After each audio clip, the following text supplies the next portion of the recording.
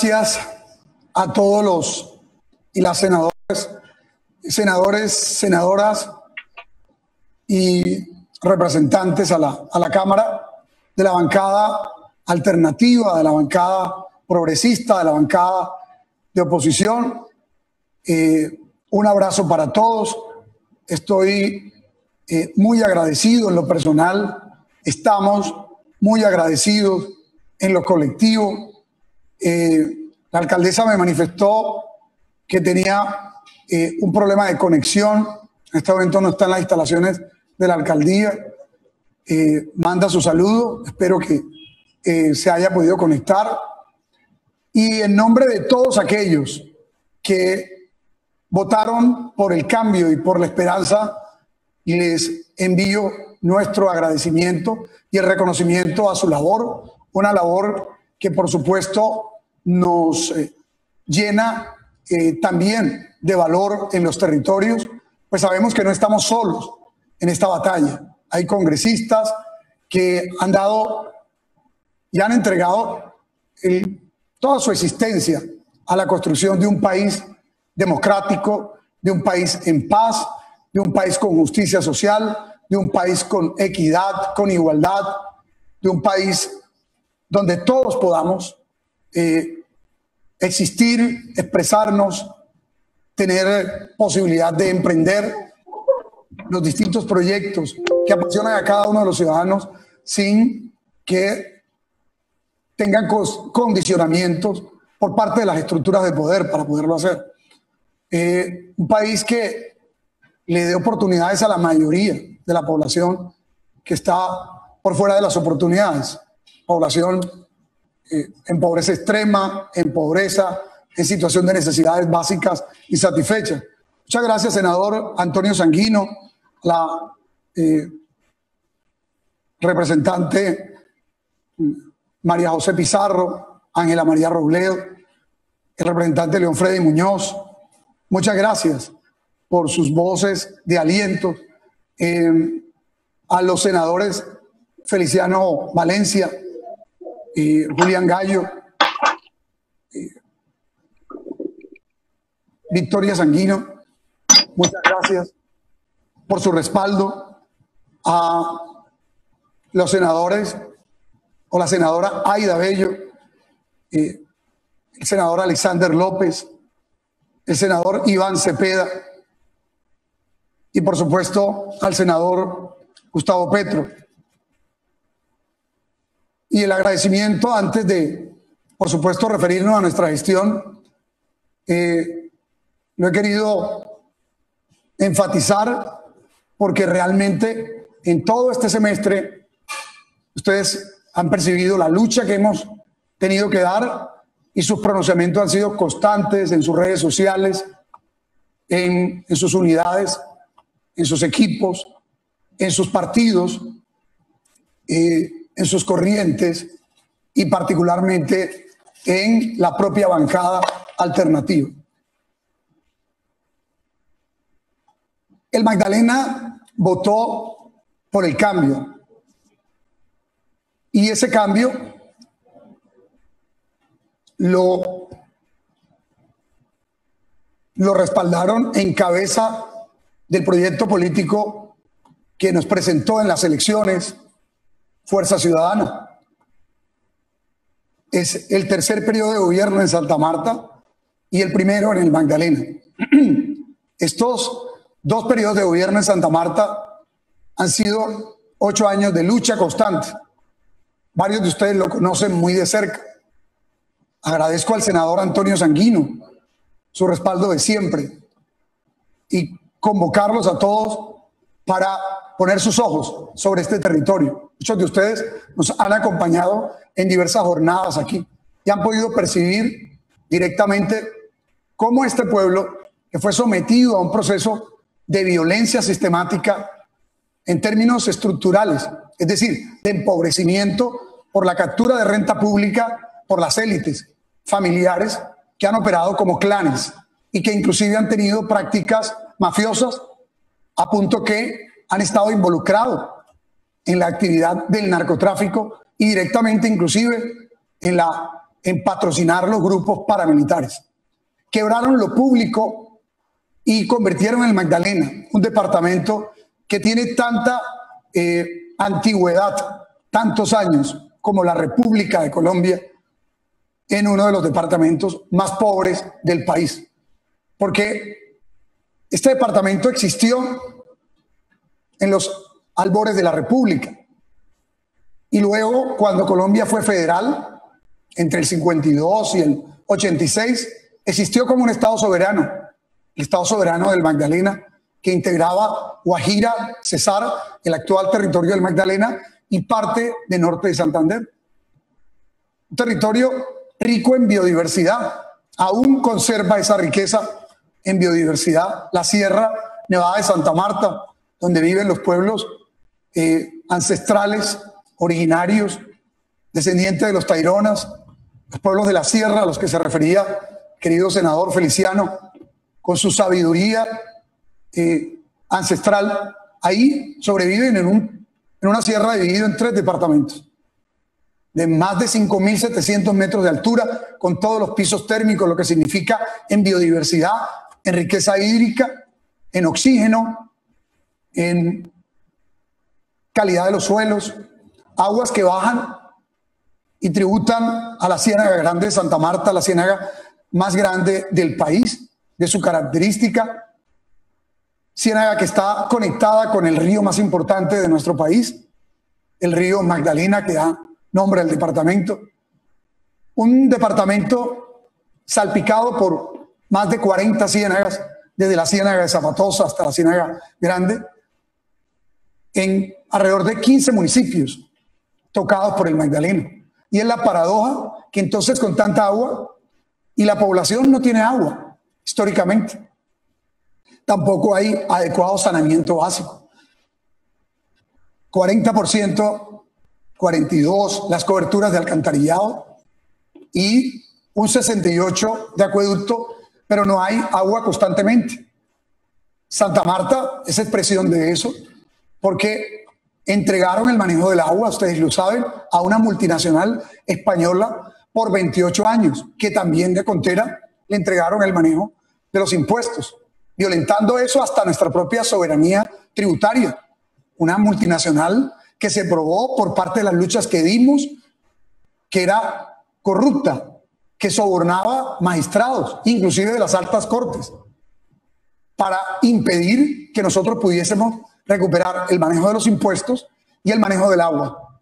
Y al hacerlo, obviamente, le entregamos el manejo de los impuestos y esos recursos que empezaron a crecer en ingresos a la propia alcaldía distrital y el manejo del agua una empresa distrital de aguas que creamos. No ha sido fácil, precisamente porque nos entregaron una ruina en la infraestructura. Así la recibimos eh, en el periodo del alcalde Rafael Martínez, también de Fuerza Ciudadana. Nosotros dimos una batalla, yo mismo la encabecé con una acción popular que firmó cerca de 238 mil personas. Tuvimos que ir a Madrid y allá junto con Podemos y el PSOE hacerle los debates en la Comunidad de Madrid a esta empresa, que es el operador de aguas de esa capital europea. Sin embargo, aquí opera como una empresa privada capturando renta pública. Es decir, que lo que hicieron las élites de este departamento fue no solamente capturar ellos directamente la renta pública y acaparar la tierra, volverse grandes terratenientes a lo largo de cerca de 200 años, y ahí están más o menos las mismas familias que estuvieron en la época de la colonia manejando la hacienda, la, hacienda, la encomienda, la mitad, ¿sí? Eh, y luego los albores de la República, siendo ellos, estas mismas familias eh, cruzadas entre sí, los que terminaron controlando el poder territorial. No se elegía gobernadores sino hasta el año 92 y alcaldes hasta el 86, ustedes lo saben. Entonces, a través de los partidos tradicionales y a través de la familiaridad y a través de la conexión que tenían con las élites del centro del país, pudieron tener el control del poder político de la alcaldía distrital, de la gobernación del departamento y, por supuesto, eso les permitió controlar el conjunto de decisiones, recursos públicos, tierra. Pero en contraste con otros territorios, ese control no le sirvió para desarrollar economías de el capitalismo comercial o industrial, sino el capitalismo rentista sobre la tierra. Y precisamente ese estuvo dispuesto para la llegada de los norteamericanos que vinieron a la explotación del banano. Y allí eh, surgió la agroindustria del banano y también la primera gran masacre del propio Estado colombiano contra sus trabajadores en el año 1928. Y son más o menos esas mismas élites que estaban por ahí, presentes en esas épocas, ¿cierto? Como en las épocas de la violencia política y como en las épocas eh, de la presencia de los grupos paramilitares. Siempre han estado presentes en la historia, controlando el poder, pero lo perdieron en el año 2011. Nosotros hicimos una transformación de la universidad durante 10 años, desde el 97 hasta el 2006, cuando nos sacaron abruptamente con un montaje judicial de la Fiscalía, la judicialización de quien representaba en ese momento una amenaza en ciernes para el proyecto político que estaba en la alcaldía y en la gobernación de aquel entonces, y que finalmente terminó reconociendo sus vínculos con los grupos paramilitares. Pues esos sectores que estaban gobernando en la alcaldía de Santa Marta para esas épocas y en la gobernación vinculados con los grupos paramilitares fueron los que me sacaron de la universidad y me privaron de la libertad por cerca de cinco años. Y son esos mismos sectores los que estaban en la alcaldía y la gobernación antes que llegáramos nosotros. Y han sido esos mismos sectores los que han continuado hostigando el gobierno popular que el pueblo magdalenense eligió con la votación más alta en toda su historia, casi 350 mil votos en el Magdalena y con la votación más alta en toda su historia en la ciudad de Santa Marta, con la alcaldesa Virna Johnson, ya por tercer periodo de Fuerza Ciudadana.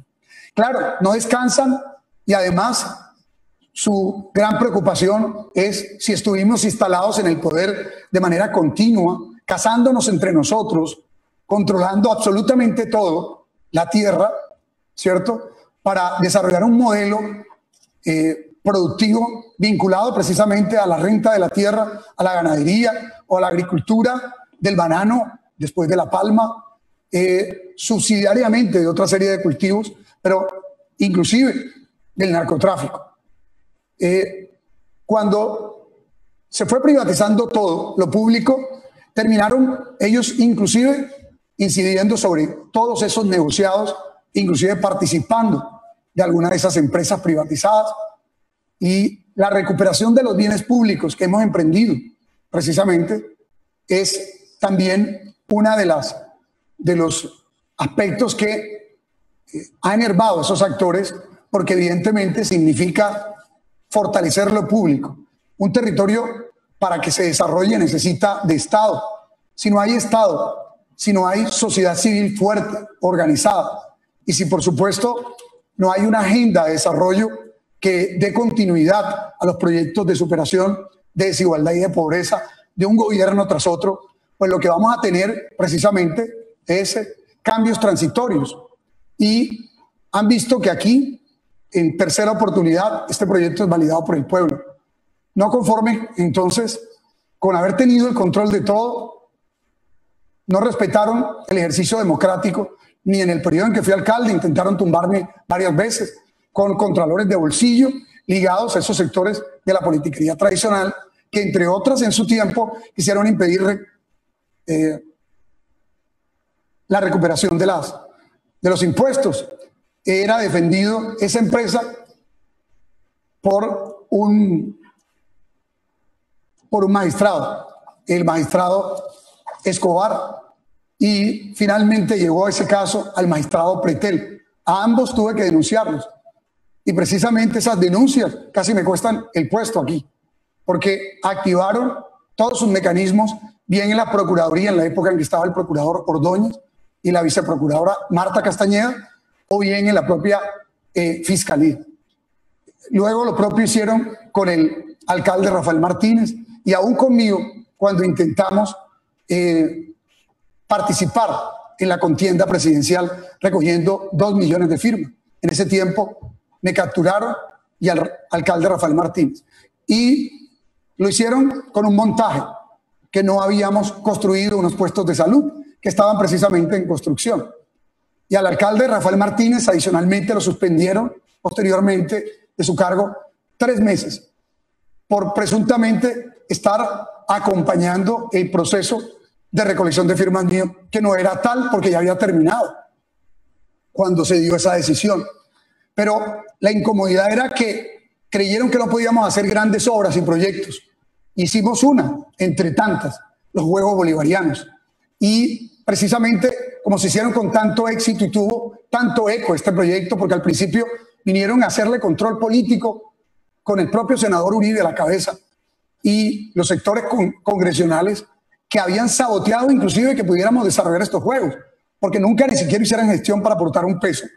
Y entonces, pues a quitarnos del camino, inclusive en la inauguración de los juegos, que a la postre es la validación de un proyecto de gobierno cuando desarrolla grandes proyectos que benefician a la comunidad. Y ahora que hemos ejercido el cargo, estos seis meses no han parado en intentar sacarnos del camino. Terminé con unos cuantos procesos precisamente montados por el pariente de Rodrigo Escobar, el Contralor Escobar, eh, para intentar sacarnos de la alcaldía cuando íbamos terminando esas concesiones. Unos eh, cuatro, luego seis, luego ocho procesos. Pero trajeron un fiscal de bolsillo, un fiscal seccional, y a la postre terminé con más de 70 procesos en la fiscalía. Y se han, han buscado judicializar nuestra actuación de manera constante. La instrumentalización de los órganos de control para sacar a un gobernante eh, elegido por la comunidad, por el pueblo, del ejercicio público. Y para eso, obviamente, utilizan la fiscalía. Le hicieron durante el fiscal Néstor Humberto Martínez, lo denunciamos. Ahora lo están haciendo durante la fiscalía del fiscal Barbosa. Pero ¿por qué los fiscales actúan así de esta manera? Porque obviamente son impulsados por los congresistas que están vinculados a estos clanes políticos territoriales y que obviamente la defensa de los intereses tiene esa para la reconquista del poder, entonces utilizan a todo el sistema judicial para intentar eh, sacarnos del camino. Lo más reciente, hacer el montaje con comunicado a bordo de la propia fiscalía indicando que me iban a eh, declarar extinción de dominio en los únicos tres bienes que poseo. Como ejercicio eh, productivo de toda una vida y que son una casa de interés social que hicimos inclusive con los recursos del proceso de paz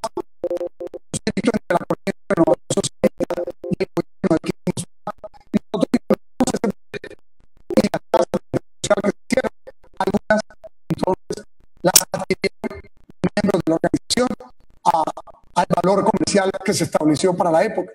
Y luego cuando fui rector de un apartamento de 80 metros adquirido sobre planos.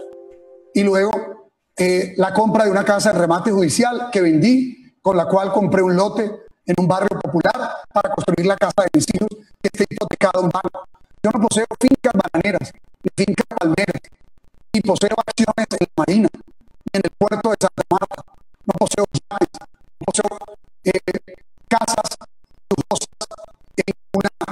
eh, isla de en Estados Unidos, tengo casas en paraísos de ninguna vez. Nuestro único patrimonio ha sido resultado del trabajo. Es decir, que lo declaramos anualmente, ¿cierto? Pagamos los impuestos.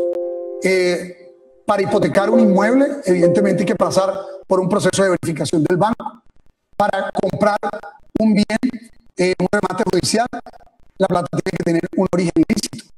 Y así ha sido todo en nuestra vida. Pero es increíble que estos que han saqueado lo público, que se han vuelto multimillonarios, tienen fincas bananeras, palmeras, tienen eh, extensiones de, de, tierra que no alcanzan a conocer en su vida, ganado, ¿sí? y, y viven hacen montajes desprestigiar a aquellos que buscar que hasta un puesto centro de salud te lo autorice el Ministerio de Salud, así para, como para nombrar maestros. Centralismo asfixiante. Pues bueno, no dieron la autorización, sin embargo la S arrancó esas obras. Responsabilidad de la S.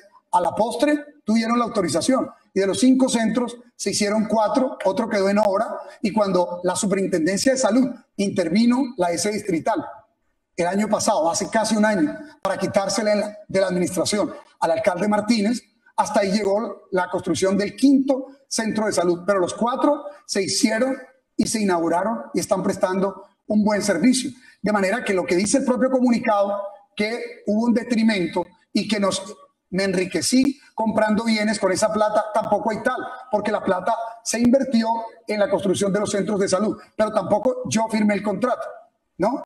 Y adicionalmente me presentan como dueño de 11 bienes. Resulta que están procesando a cinco personas, al alcalde Martínez y a los gerentes de hospitales y al contratista.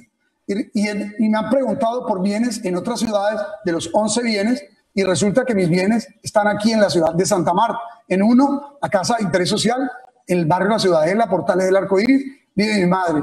En otro, el apartamento donde he vivido yo por muchos años. Y el otro es el lote donde se construyó la casa que habitan mis hijos. Es increíble cómo desprestigia y obviamente queda de la calumnia que tenemos bienes, que los hemos comprado ilícitamente, que los centros de salud no se terminaron, que nos declaran extinción de dominio, ¿cierto? Que hemos cometido delitos. Pero esto lo hacen de forma altisonante, inclusive en sus páginas oficiales, a través de las redes de los partidos del establecimiento y, por supuesto, activamente de todos los políticos que hoy apoyan un régimen que concentra poder y va dejando a los gobiernos territoriales sin las facultades que en la propia Constitución y la ley tenemos. Esto evidentemente es toda una estrategia desesperada a nuestro juicio para intentar reconquistar el poder en los territorios donde lo han perdido y mantenerlo desesperadamente a nivel nacional. Yo creo que hay que exigir reglas de juego limpias y también hay que poner en conocimiento esto a las autoridades a nivel internacional. Quería contarles estos aspectos porque son recientes y precisamente es toda la estrategia del lawfare de judicializar nuestra actuación e irnos desprestigiando con lo único que tenemos, y es el capital de credibilidad. Ese capital de credibilidad se traduce en un capital político y precisamente todos los que estamos aquí somos personas que hemos llegado eh, respaldadas por la comunidad o bien en un proceso de paz, como particularmente lo hacen los congresistas de la FARC. Eh, el pueblo, en nuestro caso, votó para derrotar las mafias, las maquinarias y los clanes. Pero estos sectores hacen todo lo posible por atornillarse en el pasado y en el poder. Y para eso obviamente le tributan no solamente instituciones tan importantes como la Superintendencia de Salud, que vino a quitarnos el hospital de tercer nivel cuando intentábamos reorganizarlo y sacarlo de esa eh, olla podrida de corrupción en la que estaba en la administración de los clanes Cotes Díaz Granados. Aquí los clanes Cotes Díaz Granados, Dávila Bondano, han tenido el manejo y absolutamente todo junto con otros aliados, y tuvieron el manejo del hospital público durante muchos años. En estos dos periodos, los cotes que estaban en coalición con los diagranados, sus parientes, pues administraron ese hospital. Lo saquearon, lo dejaron con un déficit de más de 50 mil millones de pesos y en general unos pasivos adicionales de 84 mil millones de pesos. Nosotros empezamos el proceso de saneamiento de pagarle al personal eh, sanitario y eh, empezar la reorganización del hospital para instalar UCIs allí. Solicitamos al gobierno nacional la entrega de un edificio eh, de Salucop que denominamos Clínica de la Vida y lo anexamos para poder organizar 240 UCI. Y decidimos recoger todos los recursos que teníamos en distintos rubros para orientarlos a esta estrategia, a la estrategia de alimentación para el pueblo y a la estrategia de entrega de agua. Y precisamente lo que vinieron a hacer corriendo y desesperados cuando apenas teníamos 40 días en la administración del hospital es quitárnoslo de las manos con una intervención de la Supersalud, con el Supersalud, que es un militante del Centro Democrático, es candidato al Senado de ese partido y quien ya nos había quitado el manejo de la S distrital a nivel del distrito de Santa Marta. Es decir, que ellos hoy, el Centro Democrático, la Supersalud, maneja la S distrital y el hospital más importante del departamento. Y venían por todos los hospitales de segundo nivel. Gracias a que hicimos una denuncia pública, gracias al acompañamiento de ustedes, han podido frenarse parcialmente esto. Pero ahora están tramando otra nueva estrategia con la Supersalud, con el viceministro de Salud, que viene de haber organizado la red eh, hospitalaria de Barranquilla que colapsó del, de la familia que trabajó toda su vida con la familia Char. Viceministro de Salud, superintendencia de, de un sector político, cambio radical, del grupo de los Char, eh, superintendente de salud, es miembro de la unidad legislativa del senador Álvaro Uribe, es candidato de ese partido y quien ya nos intervino la S distrital y se las entregó a los congresistas coligados con él, quien le, le dieron nuevas facultades para intervenciones allá en el Congreso, senadores de esos partidos, particularmente el señor, por ejemplo, Honorio Enrique Pinedo y otros más.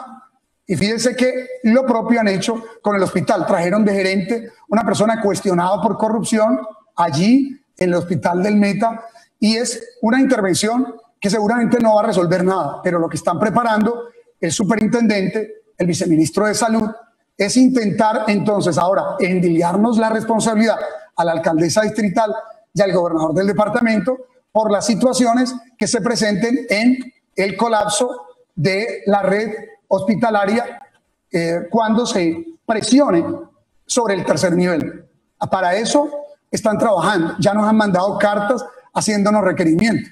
Es decir, que iban por toda la red hospitalaria. Nos hemos quedado por los hospitales de primer nivel, que son casas precarias en la mayoría de los casos, en municipios, son 20, 5 de segundo nivel en Ciénaga, Fundación, PBI, Plato y el Banco, y el de tercer nivel, que es el Hospital eh, Julio Méndez Barrenech. Pues el propósito de ellos era o le quitamos toda la red, ¿cierto? Y si no le quitamos la red, le quitamos la capacidad resolutiva, porque resulta que en ninguno de los hospitales de los municipios hay posibilidad de instalar UCIs, porque allí no hay red de gases, solamente en Ciénaga, y ahí se está intentando instalar solo 10. Íbamos a organizar para todo el Magdalena 240. Es que en el Hospital Julio Méndez, administrado por ellos, tantos años, apenas hay 17 UCIs públicas y tienen 10 privadas de una empresa que nunca ha funcionado y dice por allí que es una empresa de, fachada con 10 UCIs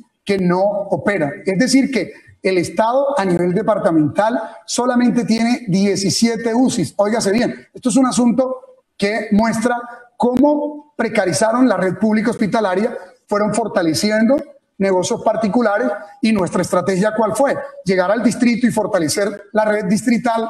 Entonces, vamos a parar este proceso, vamos a indicar que no están haciendo los centros de salud, vamos a desprestigiarlos y al mismo tiempo vamos a quitarles el manejo de la S. Lo hicieron. Y en segundo lugar, vamos a intentar evitar que gobiernen y administren adecuadamente el sector salud. Pues eso es la estrategia de este sector porque nosotros decidimos colocar todos los recursos para recuperar la red hospitalaria. Así como durante 10 años recuperamos la universidad pública del departamento, así como empezamos a recuperar bienes en el distrito, poniéndolo al servicio de la gente para mejorar su calidad de vida, disminuyendo los índices de pobreza, pues lo propio venimos a hacer. Pero vean toda la estrategia en que van. Y ellos, evidentemente, cada día montan un nuevo eh, una nueva acción para intentar sacarnos del camino, desprestigiarnos, bajarnos la moral. Quiero comentarles que en dirección de esta caracterización eh, que les planteé al principio, pues por eso acentuamos nuestros énfasis en entregar alimentos, porque tenemos eh, población en pobreza extrema, en pobreza o en necesidades básicas insatisfechas que llegan más o menos al 47%. Todos estos actores o sectores. Y adicionalmente, eh, el 86% está en la informalidad económica. Lo lógico es que si las personas se le confinan, pues no tienen cómo comer. Y nosotros no recibimos del nivel central recursos transferencias para poderlo hacer. Por tanto, decidimos crear un mercado robusto que denominamos mercado popular y solidario. Este mercado popular solidario, ¿sí? Es un mercado de 42 kilos aproximadamente, también con un kit de aseo que se entrega a núcleos familiares de 4.5 personas promedio. Y llegaron y cubrimos con estos 110 mil mercados alrededor de 500 mil personas, de un millón 426 mil habitantes del departamento. Es decir, eh, alrededor de la tercera parte asumimos nosotros eso. Y tomamos medidas anticipadas a las tomadas por el gobierno nacional. Luego el gobierno nacional pues decidió concentrar todos los poderes en sí mismo y nos restringió facultad. Y lo ha venido haciendo. La ministra Alicia Arango me ha negado ya dos, en dos oportunidades, la posibilidad de tomar medidas para toque de queda y prohibir eh, el consumo del alcohol que propicia aglomeraciones. Eh, es decir, nos atan las manos mientras dan facultades en otros territorios, aquí no las atan, pero por el otro lado ponen al viceministro de salud, ponen al superintendente de salud a hacer requerimientos. Es decir, es una estrategia muy bien calculada. No los vamos a dejar administrar la salud y vamos a endilgarle la responsabilidad. Pero haber tomado medidas a tiempo, de forma anticipada, distrito y departamento, de manera coordinada, pues llevó a que mediante esto toque de queda, prohibición del acceso a parques, a playas, a discotecas, a lugares de aglomeración, pues nos hubiéramos ganado más de 10 días. Los expertos epidemiólogos que tenemos alrededor nuestro, eh, creamos un comité científico de expertos eh, en epidemiología, en infectólogos, eh, intensivistas y médicos especializados en distintas áreas de la medicina que nos han estado asesorando para acertar en las medidas sanitarias, pues obviamente nos han dicho, el haber tomado medidas a tiempo, sin duda alguna, fueron fundamentales para que eh, los contagios se redujeran. Prácticamente fuimos cerrando fronteras eh, de forma anticipada a otros departamentos. Eh, al mismo tiempo, llevar mercados a las comunidades condujo a que la gente no saliera a buscar mercados o comida. Obviamente, si esta cuarentena se prolonga, pues tendremos que desarrollar una operación de alimentos. Aquí compramos mercados buscando los mejores precios, mientras en otras latitudes hay cuestionamientos por los precios. Aquí no han podido y por eso es que salen con este tema de los inmuebles, además para golpearnos moralmente y a nuestro núcleo familiar, para ponernos en incertidumbre, qué va a ser de nosotros, dónde vamos a ir a vivir. Es decir, son eh, parte de sus estrategias inclusive de guerra psicológica. ¿cierto? Eh, pero fíjese que nosotros acá eh, buscamos propuestas mm, con los mejores precios y produjimos los mercados, creamos una línea de producción. Eh, muchos voluntarios nos ayudaron en ese proceso. Fueron, espero que estén viendo los videos de los mercados y del proceso de producción. ese mercado obviamente fue el resultado de estudiar cuáles son los modelos de mercados en este país y darnos cuenta que con un mercado como los que entregan tradicionalmente la unidad de gestión del riesgo o algunas entidades, pues se alcanza para unos tres días cuando hay una inundación, una avalancha, cinco días a lo sumo, pero no un mes. Y nosotros pensamos que esto iba a durar más de un mes y por eso hicimos esta bolsa, el Mercado Popular Solidario, y lo llevamos a la comunidad. ¿Qué hacían ellos entonces? Creaban un proceso de saboteo, estos sectores de los clanes, de las mafias, para buscar aglomerar la gente, para que cualquiera fuera a reclamar los mercados en los colegios, en los coliseos, eh, y se creara eh, aglomeración y confusión. Y luego salían ellos a decir que yo propiciaba las aglomeraciones. Era una estrategia también bien calculada, porque al principio eh, pues pensaron que no íbamos a crear ningún tipo de solución de mercado, pero creamos no solamente el mejor mercado popular del país, y esto es así porque, bueno, yo vengo de familias populares, sé lo que significa pasar hambre.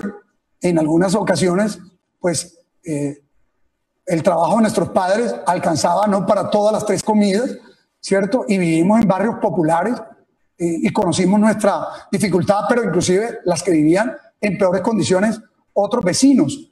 Y, por eso, eh, pues me parece que esto es un tema de dignidad. El mercado tiene que implicarle respeto, el Estado tiene que respetar a la comunidad que le entrega un mercado, no dándole una miseria, porque al pueblo pues, le han venido entregando miseria. Estos son recursos públicos que obviamente pueden auditar de manera rigurosa los organismos de control. Eh, y esta operación la desplegamos en todos los municipios del departamento, no teniendo en cuenta si el alcalde era amigo o no era amigo, si habíamos ganado las elecciones allí o no. Y obviamente lo que eh, el herramienta que nos sirvió para la focalización fueron las bases de datos de orden nacional, es decir, las que tiene el DPS, las que tiene el Departamento Nacional de Planeación, ¿sí? Eh, y que envían a los departamentos y municipios, las del CISBEN. Entonces escogimos CISBEN 1, CISBEN 2, luego pues hicimos focalización sobre CISBEN 3, personas que no recibieran beneficio de familias en acción, eran los destinatarios, adultos mayores. Espero ustedes puedan observar, los recursos del ladrillo y el cemento calculados para mejorar vías o para intervenir alguna infraestructura, pues se orientaron prioritariamente a la vida y la vida se garantiza con comida. Ahora, fuimos a todas las comunidades, campesinas, indígenas, entregamos a todas las poblaciones. Tuvimos que eh, acudir abuelos para llevar los mercados a los pueblos indígenas, así lo hicimos en distintas oportunidades para que el pueblo pudiera alimentarse, para que a todo el mundo le llegara comida. Si se prolonga la cuarentena, tendremos que repetir esta operación. Tenemos limitación de recursos no hemos recibido recursos del gobierno nacional para esta operación. Ellos enviaron unos cuantos mercados para población venezolana que entregamos y, y algunos más del programa de la primera dama que le dije al secretario del Interior coordine su entrega con los alcaldes. ¿Cómo determinábamos la entrega? En PMU municipales, ¿cierto? Ahí están las actas de los PMU, puestos de mando unificado, donde todas las autoridades definían el procedimiento. Y después fuimos entregándolo casa a casa. Esta operación es un gran aprendizaje. Hay que poner a participar la gente. Nosotros lo hicimos. Los comités de, de alimentos fueron fundamentales. Espero que en los videos puedan ver personas. Ahí están voluntarios que hacían parte de todo el proceso de verificación. También compramos mercados eh, luego de recibir las mejores propuestas de proveedores. 250 eh, mil pesos de un bono de mercado popular solidario que le servía a la familia. Ustedes pueden ver allí para comprar sus mercados. Ellos escogían los alimentos, no licor, eh, básicamente alimentos y productos de aseo, de limpieza. Nos, nos ha llenado de satisfacción esta operación solidaria, humanitaria, a nuestro pueblo, a un pueblo que históricamente era maltratado y que le entregaban las élites migajas en un ejercicio de, eh, de, de asistencialismo. Y llegamos a la Ciénaga Grande de Santa Marta, ha sido uno de los últimos lugares donde fuimos, a las comunidades palafíticas, allí llevamos los alimentos todos los rincones del departamento lo recorrimos. Y mientras eso hacíamos, evidentemente estos sectores de las mafias, de los clanes políticos familiares, pues eh, lo único que hacían era criticar y desesperadamente buscar ver cómo armaban un lawfare, un montaje judicial, un desprestigio mediático para evitar, por supuesto, que esta operación se conociera en Colombia, ¿sí? Y se pudiera emular también y se pudiera continuar en el departamento. En segundo lugar, el agua, ¿cierto? El agua ha sido eh, fundamental para la limpieza. En un departamento que ya describí con restricciones de agua, creamos el programa Agua al Pueblo. Y el programa Agua al Pueblo, pues de manera gratuita, así como los mercados, llevaba agua eh, que se entregaban en carrotanques 50 en una operación diaria durante meses, ¿sí? Con comités. Y los comités, y luego creamos un sistema de tanque de 10 mil litros con unas bases, unas llaves, y la gente se abastecía para llevarse 25 litros a su casa de manera permanente. Esto fue fundamental para la limpieza, para el aseo, porque hemos pasado por un periodo de sequía. Hoy estoy sintiendo aquí, en este momento que está cayendo, las primeras lluvias en Santa Marta en todo este año, ¿cierto? Imagínense, en muchos municipios no ha llovido aún, y, y muchos se abastecen de agua de Hawái, ahí donde abrevan los animales, también los seres humanos.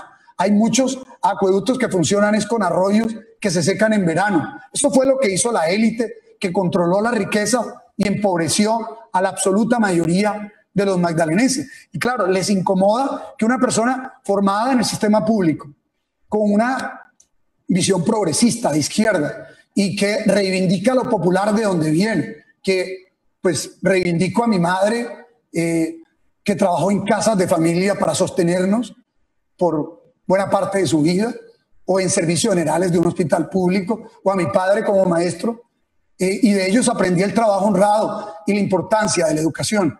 Y este pueblo nuestro, pues por supuesto, tiene esas historias que son comunes, ¿cierto? Lo que no es común es que llegue aquí a gobernar una persona de estas características. Pero hemos ido eh, avanzando también en la organización de la comunidad a través de comités de agua, comités de alimentos, y eso vamos a hacer para todos los programas del departamento. Y también en materia sanitaria, todas las, las pruebas que hemos venido aplicando, hemos hecho eh, pues mucho más pruebas que la media nacional. Eso obviamente al principio nos mostró como uno de los departamentos con más contagio. Yo dije, no importa, es preferible que hoy tengamos ese registro y a la postre eso va a tener efectos con posterioridad. Eso fue lo que hicimos. ¿Se, ha ido, ¿se han ido muchos? ¿Ah? Ah, bueno. Eh, entonces hicimos pruebas y tamizajes y obviamente un seguimiento de un rastreo que llaman epidemiológico y obviamente la situación se hizo crítica en algunos municipios no solamente por los problemas de pobreza, de necesidad, de informalidad económica, también en algunos, más que otros, los compromisos de las autoridades municipales en las aplicaciones de las normas y la propia disciplina social. Eh, municipios como Pueblo Viejo, la situación se agravó. Eh, pero ¿qué hicimos? Inmediatamente la operación de entrega de 6.600 mercados, uno en cada casa. El agua que seguimos llevando al municipio la articulación con la alcaldía, muy importante. El alcalde eh, se enfermó, quedó una encargada y con ella también continuó la articulación. Eso nos llevó a disminuir la curva de contagio y la curva de fallecidos. En 10 días no ha habido un fallecido allí. La situación en Ciénaga se ha hecho crítica porque eh, hemos hecho llamados de atención al alcalde, pues eh, tal vez por poner distancias políticas, porque los clanes que están detrás de esta alcaldía, los cotes y demás, eh, pues evidentemente lo que buscan en la medida de lo posible es que no hagamos presencia en los municipios. Hostilizan nuestra operación de alimentos, nuestra operación de agua, nuestra operación sanitaria. Eh, y obviamente tenemos que dar las constancias, pero hemos insistido, por supuesto, porque lo que nos importa a nosotros no son las diferencias políticas. En este caso, lo que cuenta es la vida de las personas sin distingo de condición socioeconómica y de carácter eh, político pero en, esa vamos trabajando y, y, por eso fíjense que de las tres ciudades más eh, eh, pobladas y de los tres departamentos eh, más poblados del Caribe, Bolívar, Atlántico, Magdalena, Barranquilla, Cartagena, Santa Marta, esta es de lejos el territorio donde las cifras pues muestran un comportamiento positivo, si se puede hablar de comportamientos positivos en medio de la pandemia general que vive el mundo y que vive Colombia. Pero tenemos que tomar estas y muchos más. Y por eso he pedido facultades al Ministerio del Interior en esta centralización absurda. Eh, nosotros hemos insistido en que el centralismo asfixia, que Colombia debe transitar hacia un escenario de federalismo, de autonomía profunda en los territorios. Los grandes países este, este, país es un país de un millón mil kilómetros cuadrados aproximadamente, de 50 millones de personas. Eh, no se pueden administrar desde Bogotá. Desde Bogotá nombrar los profesores. Desde Bogotá eh, autorizar eh, la construcción de una red pública hospitalaria en puestos, centros de salud. Nada más para hablar de estos dos componentes tan importantes de la vida de las comunidades, porque tiene que ser un asunto del manejo de la presidencia de la República, temas que deben resolverse a nivel local y departamental. Pues obviamente esto lo que hace es una concentración o sobreconcentración de poder en el centro y una eh, incapacidad resolutiva en los territorios. Si a esto le sumamos que estamos en un departamento en ley 550, ¿no? un departamento sin licorera, sin lotería, porque todas las empresas públicas las quebraron, luego las privatizaron, las hicieron negocios eh, en las que terminaron ellos por interpuestas personas administrándolos. Es decir, sin ingresos propios es muy difícil eh, garantizar la autonomía. Aquí tenemos que replantear la distribución de recursos, la distribución de competencias, ¿no? Y eh, sin duda alguna el modelo centralista de departamentos que están en la mitad eh, entre municipios y nación, con pocas capacidades resolutivas, salvo aquellos que conservaron desde el régimen federal sus capacidades institucionales, pero aquí desmontaron el Estado de estas élites, pues evidentemente esto nos aboca a discutir no solamente el tema de autonomía regional en las cinco grandes regiones del país, sino que nos aboca a la discusión de unas nuevas entidades territoriales en los departamentos, convirtiéndolos en Estado. Pero entre tanto llega ese debate, por lo menos no deberían concentrar tanto la presidencia de la República, inclusive el Ministerio del Interior, lo que son facultades normativas. Es decir, ni siquiera estamos hablando de recursos, sino que el Ministerio del Interior nos niega a tomar medidas que permiten controlar y aislar. Yo soy partidario que durante un tiempo mantengamos medidas de aislamiento, pero de acompañamiento a la población, ¿cierto? Y soy partidario que se le entreguen a los niños y a los profesores dispositivos tecnológicos, se mejore la conectividad y se enfaticen a través de plataformas y de capacitación de todo el magisterio colombiano en la modalidad virtual y digital porque la presencialidad pone en riesgo, sobre todo en colegios públicos, aquí con más de 830 sedes de 174 instituciones repartidas en 28 municipios, donde la mayoría de los niños que van viven, están en la pobreza extrema y ni siquiera todos están alimentados con el programa PAE. Ahora casualmente parte del saboteo, para que ustedes se enteren, es en pedir que licitemos el PAE y entonces colocan una tutela, recusaciones y para eso se presta la propia Procuraduría a nivel regional, la misma Procuraduría que eh, inclusive se pronunció indicando que yo no debía ir a los municipios a entregar los mercados, eso es un centro de producción de los mercados, porque cada que iba aglomeraba gente, es decir, que el gobernador quede aquí confinado en un edificio. Es una cosa tenaz cómo utilizan inclusive organismos de control a nivel territorial. Yo voy a recusar, por supuesto, a, quienes están evitando que el departamento pueda resolver este tema eh, con quien sea, pero eh, evidentemente esto es un asunto también eh, crítico, ¿no? Y espero pues que se le dé trámite para garantizar la alimentación escolar, porque tenemos además de Contera un requerimiento del propio Ministerio de Educación indicando que no hacemos las entregas de los programas. Y fíjate que no se hace porque ellos eh, orquestan a nivel territorial y con estos organismos dilatar los procesos. Es decir, se trata que no gobernemos, pero en medio de eso no nos podemos quejar. Hemos salido adelante y hemos avanzado.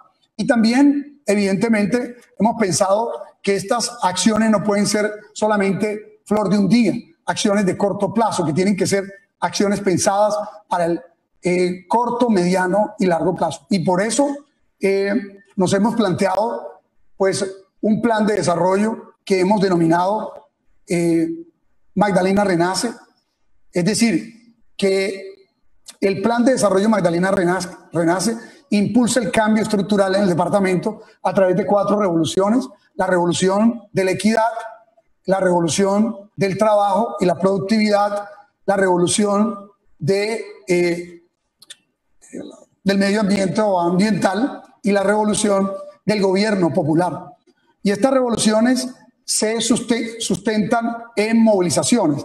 La movilización eh, renace la equidad y la movilización renace la educación, la movilización renace la cultura y el deporte, la movilización renace el agua y la naturaleza, la movilización renace la vivienda y los servicios, la movilización renace el turismo y el empleo, la movilización renace el campo y la pesca, la movilización renace la infraestructura y la movilidad, la movilización renace la infraestructura, eh, la autonomía territorial, la participación y la transparencia y la movilización renace la paz, los derechos y la seguridad humana. Eh, y una serie de proyectos, básicamente de programas unos 25 programas y unos 80 proyectos. Parte de estos programas y proyectos, grosso modo, eh, lo resumo, tienen que ver con darle acceso a la gente de manera directa a toda la oferta social eh, para lo cual hay que identificar, cedular, cisbenizar en todo el territorio sin clientelismo y politiquería a la población a través de la estrategia Red Equidad que aplicamos en Santa Marta y fue fundamental para que muchas personas que tenían que buscar eh, eh, intermediación en presidentes de juntas comunales, diles, concejales, que no están para eso y que eran intermediadores para que se silvenizara a las personas o que les cobraban inclusive dinero por eso, se puede hacer. Y un programa para todas las poblaciones eh, para restituirles sus derechos. Eh, mujeres por el cambio, campesinos por el cambio, eh, víctimas con dignidad, población afro con derechos, pueblos indígenas con saberes ancestrales para el cambio, jóvenes para el cambio, niñez y, y por supuesto adolescencia por el cambio, vejez digna, migrantes con derechos, el cambio con diversidad para la población LGBTI, el cambio en la cobertura educativa, buscar llevar a todos al sistema educativo y un programa de alfabetización que hemos denominado Yo sí cambia, que buscamos a través de esto alfabetizar a toda la población, es decir, al 9% que hoy es analfabeta en el Magdalena. Hay municipios donde tenían bases, inclusive grupos paramilitares, que eh, la población es, está en el 20 y 25% de analfabetismo. Es una cosa, eh, a mí me parece inhumana, infrahumana. Eh, pues llevar a la gente al conocimiento, eh, a los jóvenes que están en esta edad y a los adultos mayores y buscar ampliar la cobertura educativa, pero además impulsar el cambio con calidad en todo el sistema educativo, porque el Magdalena que hemos recibido está en el último quintil de los 32 departamentos, con Guajira, con Chocó y con Amazonas en los peores niveles de desempeño educativo. Entonces, aquí tenemos un gran desafío. Hemos convocado académicos como Julián de Subiría y vamos a desarrollar todo un programa de movilización por la calidad educativa, con una constituyente educativa, con todo un programa de apoyo y fortalecimiento a docentes, de capacitación, ¿verdad? De mejoramiento de la calidad, de la revisión de los planes de estudio, la pertinencia de los mismos ligadas también a los problemas de las subregiones, a las fortalezas también biodiversas y del territorio, culturales e históricas aquí en esta tierra de pueblos ancestrales, en esta tierra de Macondo, en esta tierra de Gao, en esta tierra donde murió el libertador Bolívar y tierra que, que, que obviamente tiene que, a partir de todos estos referentes históricos-culturales, construir su nuevo escenario de dignidad hacia el futuro. Y en esa dirección entonces también la educación superior. Aquí las tasas de cobertura en educación superior son de apenas el 26% de la nación, son del 53%. Y eh, lo que hicimos nosotros en la Universidad de Magdalena permitió pasar de 2.000 a 10.000. Hoy la universidad tiene 19.000, pero estudiantes, pero están concentrados el 96% en Santa Marta, apenas un 2% en Ciénaga y un 2% para otros 28 municipios. Yo me he propuesto llevar la universidad a las subregiones. Eso es lo que clama el pueblo. Cinco sedes subregionales y en, las, en los colegios que modernicemos también oferta pertinente con universidades públicas eh, de calidad. Nosotros abogamos porque la educación superior pública sea gratuita y universal. Y ojalá los señores congresistas de la bancada progresista, alternativa, de izquierda de nuestro país pudieran impulsar un proyecto de acto legislativo en esa dirección. Habíamos propuesto inclusive una iniciativa de consulta a todo el pueblo colombiano, un plebiscito por la educación superior pública con gratuidad.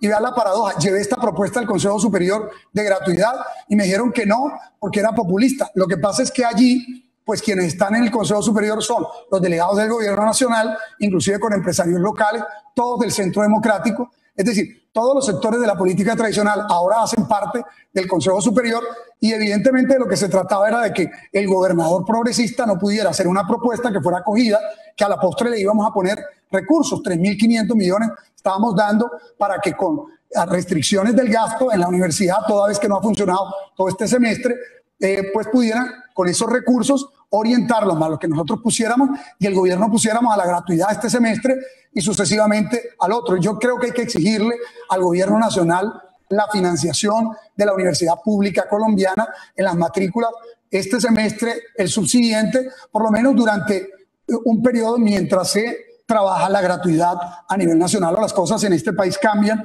para que efectivamente se le garantice a la juventud el derecho a acceder a la universidad eh, y, por supuesto, a permanecer en ella porque los programas de sostenimiento también son importantes.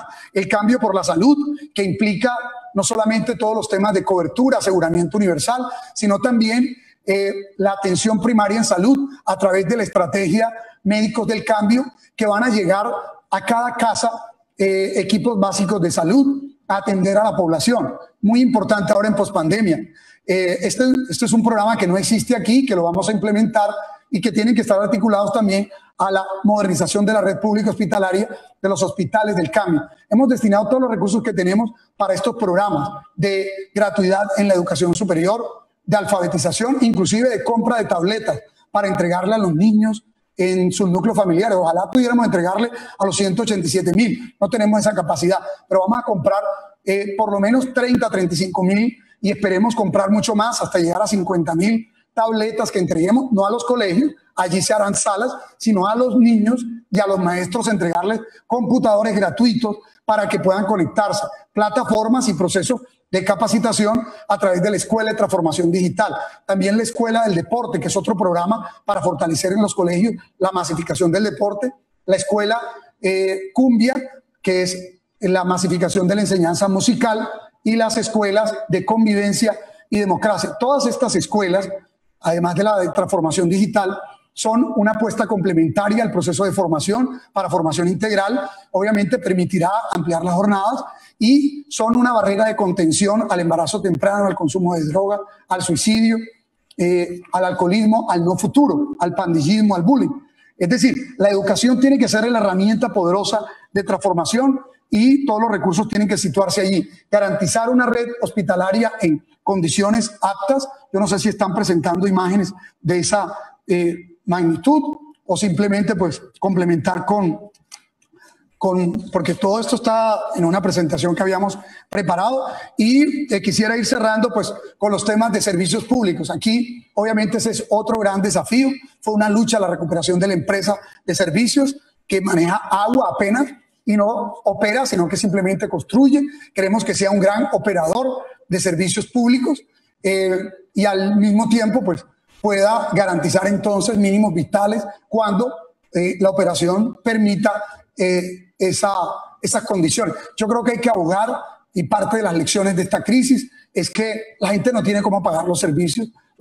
los servicios deben ser públicos. Fíjese que con todo y, el peso que tienen estos sectores del establecimiento político tradicional o de derecha, eh, en departamentos como Antioquia, nadie se le ha ocurrido nunca privatizar la CPM pero aquí se les ocurrió privatizar todas las empresas de servicios públicos y la empresa de energía. Y por eso hemos tenido que sufrir esta empresa insufrible que es Electricaribe. Yo adelanté una acción popular que paró por un tiempo largo la enajenación de la empresa. Lo que buscábamos era que se entregara esto al manejo de los departamentos, se hiciera una empresa pública y que aportara a los municipios, aportara a la nación, los ciudadanos compraran acciones. Pero aquí lo que siempre se organiza son eh, la privatización de los activos públicos para que los particulares se eh, incremente su patrimonio. A mí me parece que ese es el peor negocio, porque son eh, patrimonios públicos que se hacen con los recursos de los contribuyentes, los recursos del presupuesto nacional que le pertenece a todos. De manera pues que estamos en la lucha para que esta empresa pueda operar acueducto, alcantarillado, ofrecer energía, energías limpias y, digámosle, competir con la empresa privada que va a entrar a operar en esta jurisdicción. Otro tema que, y otra lección que deja esta crisis es que hay que garantizar la seguridad alimentaria, entonces producir alimentos.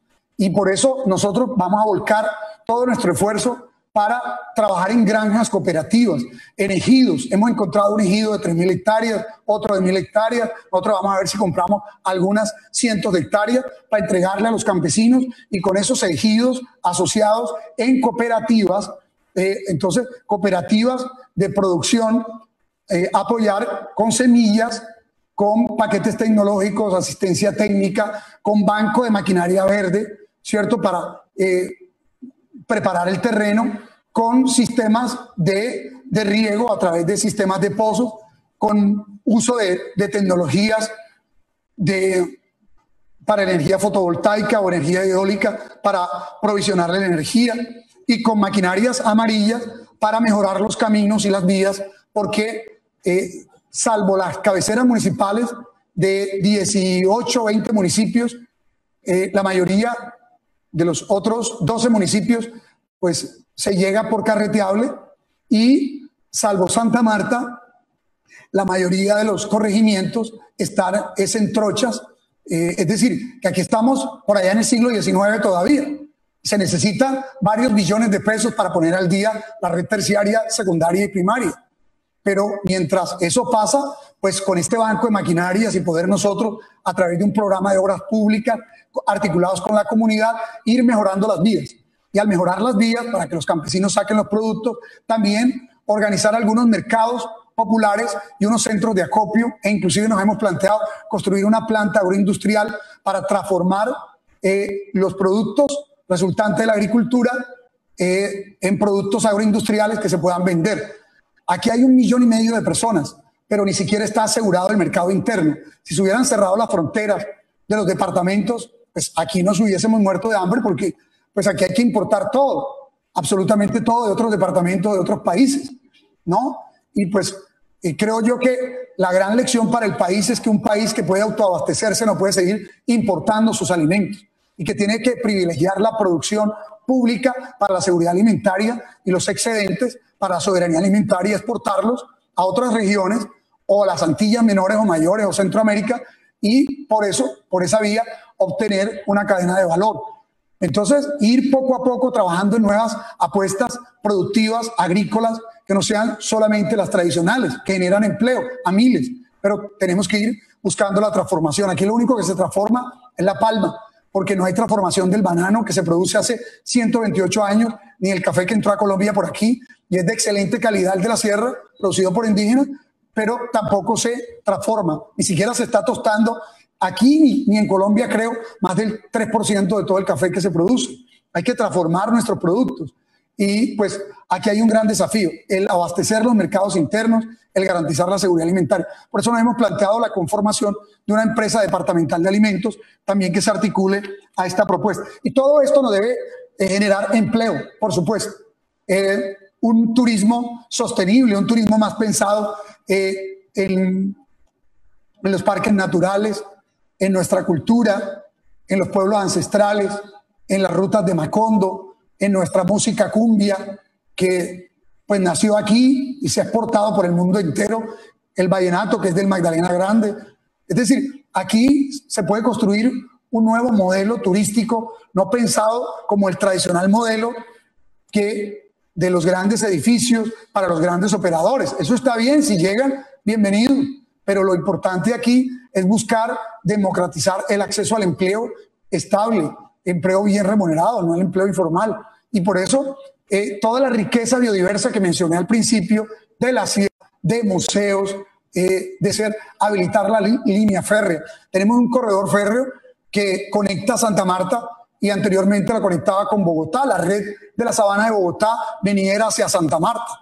¿sí? Y pues ya en Bogotá la están aprovechando para un regiotren. ¿Por qué no se aprovecha en el Magdalena y lo hemos propuesto para que se conecten municipios como Fundación, Aracataca, Zona Bananera, Ciénaga y Santa Marta y la movilidad de sus pasajeros? No solo carbón, ¿cierto? Un carbón que el polvillo contamina el pueblo por donde atraviesa, eh, mata animales y a ciudadanos y poca es la compensación que se recibe. Pues si van a seguir en este negocio, ¿por qué no combinar con la movilización de mercancía, de los productos, de la habilitación del suelo que hagamos en nuevas zonas, que se llegue, que lleguen a esos centros de acopio o esa planta hemos planteado ese transporte por el corredor férreo hacia el puerto de Santa Marta, donde el distrito y la gobernación tienen asiento, junto a familias tradicionales que fueron los que compraron eh, las acciones del puerto que está privatizado para varias décadas. Eh, pues hemos planteado al gobierno nacional la habilitación del corredor férreo y es necesario también pensar en un proyecto férreo que conecte al Caribe colombiano para mover personas, ciudadanos, pero esto seguramente será para el largo plazo, pero el corredor férreo aquí está listo y varias veces se planteó el proyecto. Sin embargo en su debido momento eh, uno u otro pues, se atraviesan en el camino para ver cómo impiden que proyectos de esta magnitud que tributan a, la economía y obviamente al turismo, porque el turista se va a poder movilizar por el corredor de la ruta de Macondo y esto va a generar una nueva economía llevando el turismo que está concentrado hoy en Santa Marta, a Ciénaga, a, Pueblo Viejo, a Sitio Nuevo, en la zona palafítica, a zona bananera, eh, Aracataca y Fundación, y también las rutas hacia el sur en la denominada depresión o su región momposina. Bueno, ahí tenemos múltiples desafíos, obviamente para generar unas nuevas apuestas productivas de emprendimiento y obviamente de sostenibilidad para el cuidado del agua, fuentes hídricas, para la calidad de vida nuestra, para el abastecimiento, para la agricultura.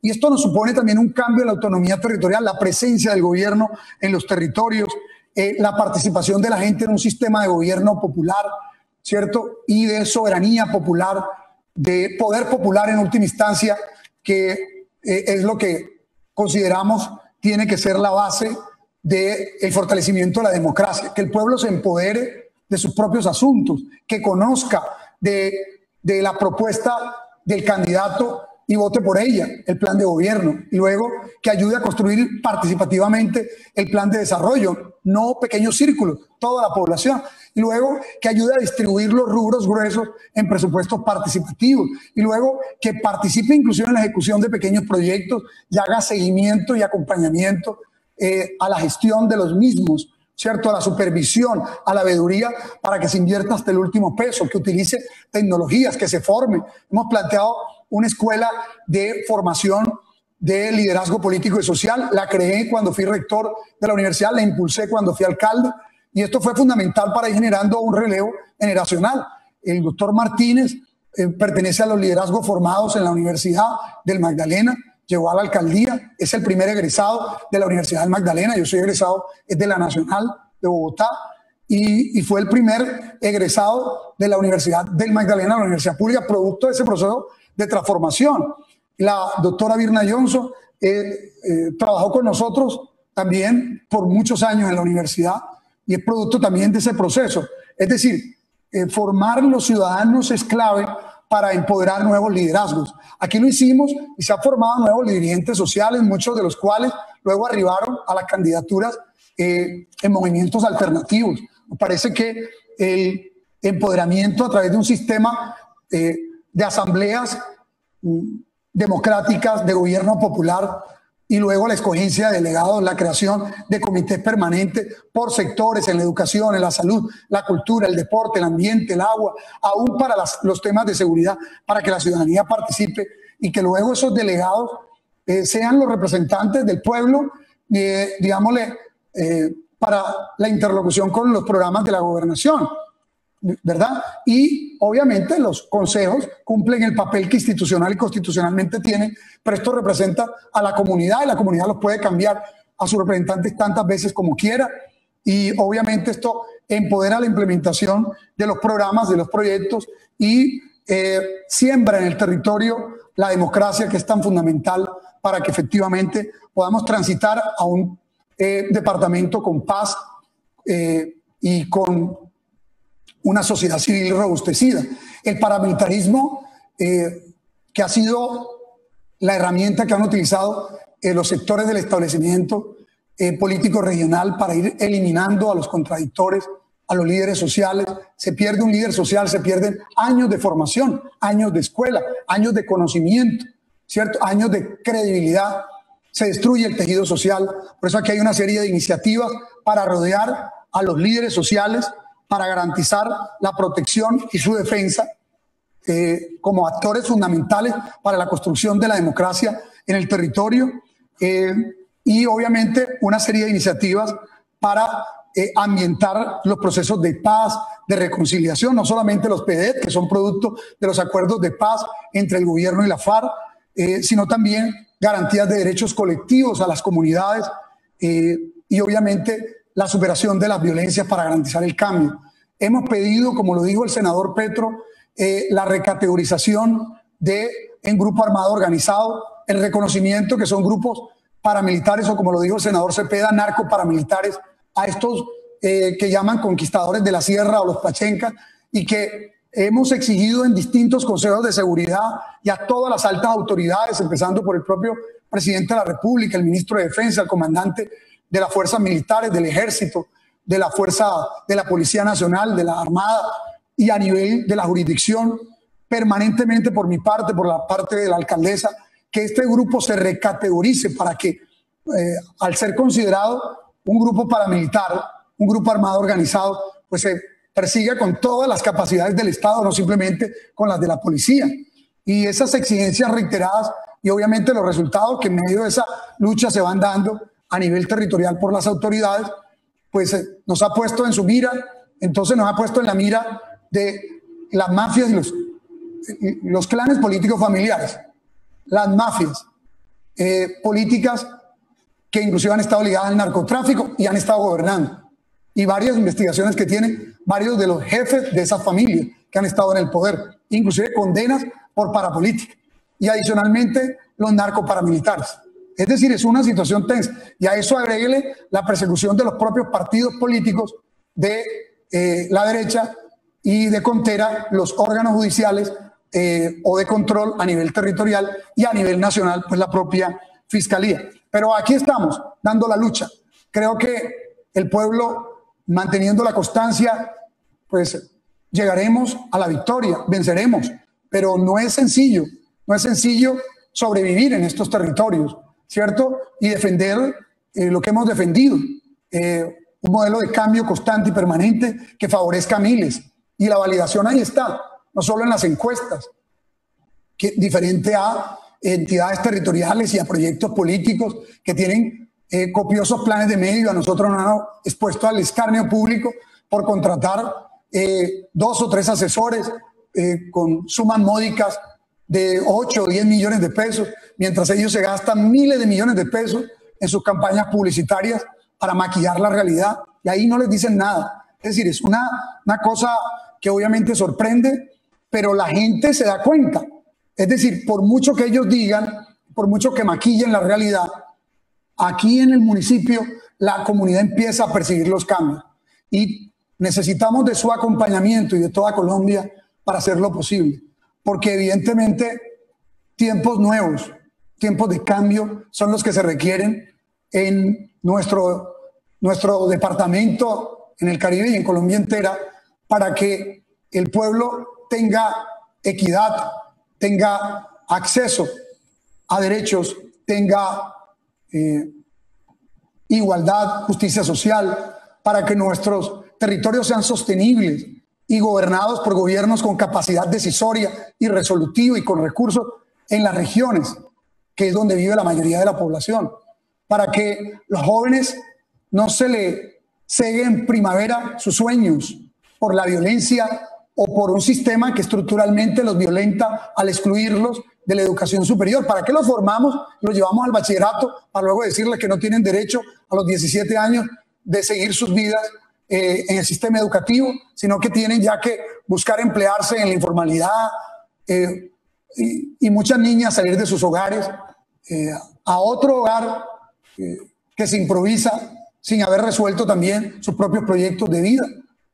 Aquí ha habido una violencia física y estructural y tiene que resolverse es con un nuevo modelo que priorice a las mayorías, a los ciudadanos, para que todos podamos tener el derecho a la alegría, ¿cierto? A poder realizar nuestros sueños. En eso estamos por estas tierras. Obviamente eh, sabemos que apenas esto empieza, estamos en el séptimo mes ya. Hemos invitado a que nos acompañen distintos sectores y actores con experiencia en lo público, también para que le pongan lupa a las actuaciones nuestras, de los secretarios, de las, de las eh, de los hospitales y los colegios que hacen parte del sistema departamental en el distrito y en los municipios. La comisión de moralización, eh, como ya lo había mencionado también, senador Cepeda. Eh, y a, todos ustedes les pedimos que hagan parte de todo este proceso de seguimiento. Aquí, eh, pues en este momento estamos despojados de la red hospitalaria distrital, del hospital de tercer nivel, intentan hacerlo con los de segundo, intentan por supuesto, eh, desdibujar este proceso en términos sanitarios y, e intentan eh, también, ¿no? Desdibujar nuestra condición de servidores públicos honestos al servicio del pueblo. Pero pues es parte de la lucha, lo dijo León Freddy. pues cada problema de estos se vuelve un desafío y aún una oportunidad. Y yo le agradezco a todos los congresistas que han sido tan solidarios eh, durante todo este tiempo con nosotros, porque han logrado también, en algunos casos, llamar la atención en sus debates frente a lo que pasa aquí. Y esto lo iremos midiendo en el tiempo, va poniendo controles. Ellos no se miden, pero en la medida en que nosotros no desfallezcamos en el territorio, ¿cierto? Y en la medida en que ustedes nos sigan acompañando, yo los quiero invitar casi a constituirse en una especie de mesa de acompañamiento para esta revolución que estamos impulsando en el Magdalena, para este proceso que se basa en, obviamente, la movilización popular y en poner el Estado al servicio de la gente, de las mayorías. Eh, yo les pido que, que estén casi como una mesa permanente, porque no, no tenemos, aquí pues los congresistas del Magdalena están al servicio de esa estrategia que ya hemos cuestionado. Necesitamos de su acompañamiento para que también podamos obviamente tener éxito en la gestión, porque a la postre lo que nos interesa es que tres años y medio después, porque ya avanzamos en un primer semestre, la gente diga, valió la pena no vender el voto, valió la pena derrotar los clanes y las mafias, ¿cierto? Eh, y apostarle a un proyecto como el que nos validó en las elecciones, el de eh, la fuerza del cambio, e impulsar durante estos años todo un sistema de empoderamiento de la ciudadanía para que lo que no podamos hacer en estos tres años y medio queden contenido en una agenda, en un plan estratégico hacia el 2050 y gobiernos sucesivos sigan profundizando en estos cambios estructurales, en lo social, en lo ambiental, en lo productivo, en lo institucional y como, como está sucediendo en la ciudad de Santa Marta que esto también pueda ser un referente en lo positivo y en lo que también ha sido eh, crítico de eh, lo que hemos venido adelantando. Muchas gracias. Y pues sí nos gustaría que antes que cerráramos, eh, y además de agradecer la generosidad de su tiempo, pues escuchar a varios de ustedes porque muy seguramente tendrán algunas acotaciones o eh, apuntes o preguntas y, y ojalá pudiésemos eh, escucharlos y absorberlas, porque también este video nos queda y esperamos compartirlo con todos los ciudadanos del departamento. Un abrazo para todos y todas. Muchas gracias, Carlos. Nos has dado una lección muy detallada de alta política, de alta gerencia pública y de compromiso con, con cambios verdaderos en el, en el Magdalena, que es un inmenso referente para, para el país. No sé si con nosotros está Virna Johnson, la alcaldesa de Santa Marta. Si está Virna, quisiera darle unos minutos para que nos salude por supuesto, y para también expresarle nuestro respaldo, nuestro afecto, nuestro compromiso con la gestión que ella está adelantando. La primera mujer alcaldesa elegida popularmente. Así es. y creo que es la primera mujer alcaldesa de Santa Marta. Así que eh, un abrazo inmenso, Virna, y, y, bueno, tienes la palabra para que también des tu saludo y tus, y tus reflexiones. Eh, eh, y luego hacemos una rondita con los colegas y vamos cerrando porque ya estamos sobre las 8 de la noche y, y, bueno, el tiempo también es un recurso limitado que hay que saber administrar. Virna, un abrazo. Tienes la palabra. Gracias, gracias. Buenas noches a todos. Eh, bueno, inicialmente no me pude conectar, tuve algunos problemas técnicos, pero lo importante es que ya, ya pude conectarme. Em, eh, un saludo fraterno a todos los que están en este momento conectados, a los congresistas, cada senador, cada representante que nos ha expresado su apoyo, de verdad, muchísimas gracias. Eh, sabemos que todos compartimos em, la, que la forma de hacer política eh, de una manera diferente es posible. Eh, lógicamente, saludo también al señor gobernador. Buenas noches. y esa forma de hacer política diferente es lo que nosotros defendemos. Nosotros agradecemos el respaldo que hoy nos están dando es un respaldo eh, que nos da todavía más ánimo, más fuerza para seguir adelante. Sabemos que a todos nos motiva el sueño de, equidad, de progreso para nuestra gente. Y también sabemos que cambiar eh, o que producir cambios no es fácil, pero que si lo hacemos en equipo, siempre resulta más sencillo. Y es lo que estamos haciendo aquí, gobernación y alcaldía, trabajando en equipo, en armonía. Em, y, vamos a seguir trabajando, eh, siempre enarbolando las banderas del cambio, que es lo que nos permite eh, lograr los ideales que el pueblo samario y magdalenense se merecen, por los que el pueblo votó, lo que decidió en las urnas, y vamos a seguir luchando por ellos. Este es un, un gobierno de cambio que comenzó en el año 2012, cuando Carlos Caicedo eh, fue alcalde de Santa Marta y cuando Santa Marta de verdad supo lo que era un cambio, supo lo que era tener esperanza, poder ser una ciudad diferente, una ciudad que estaba olvidada por muchas, muchas décadas y que eh, pudo ver desde el año 2012 que sí era posible tener una vida más digna.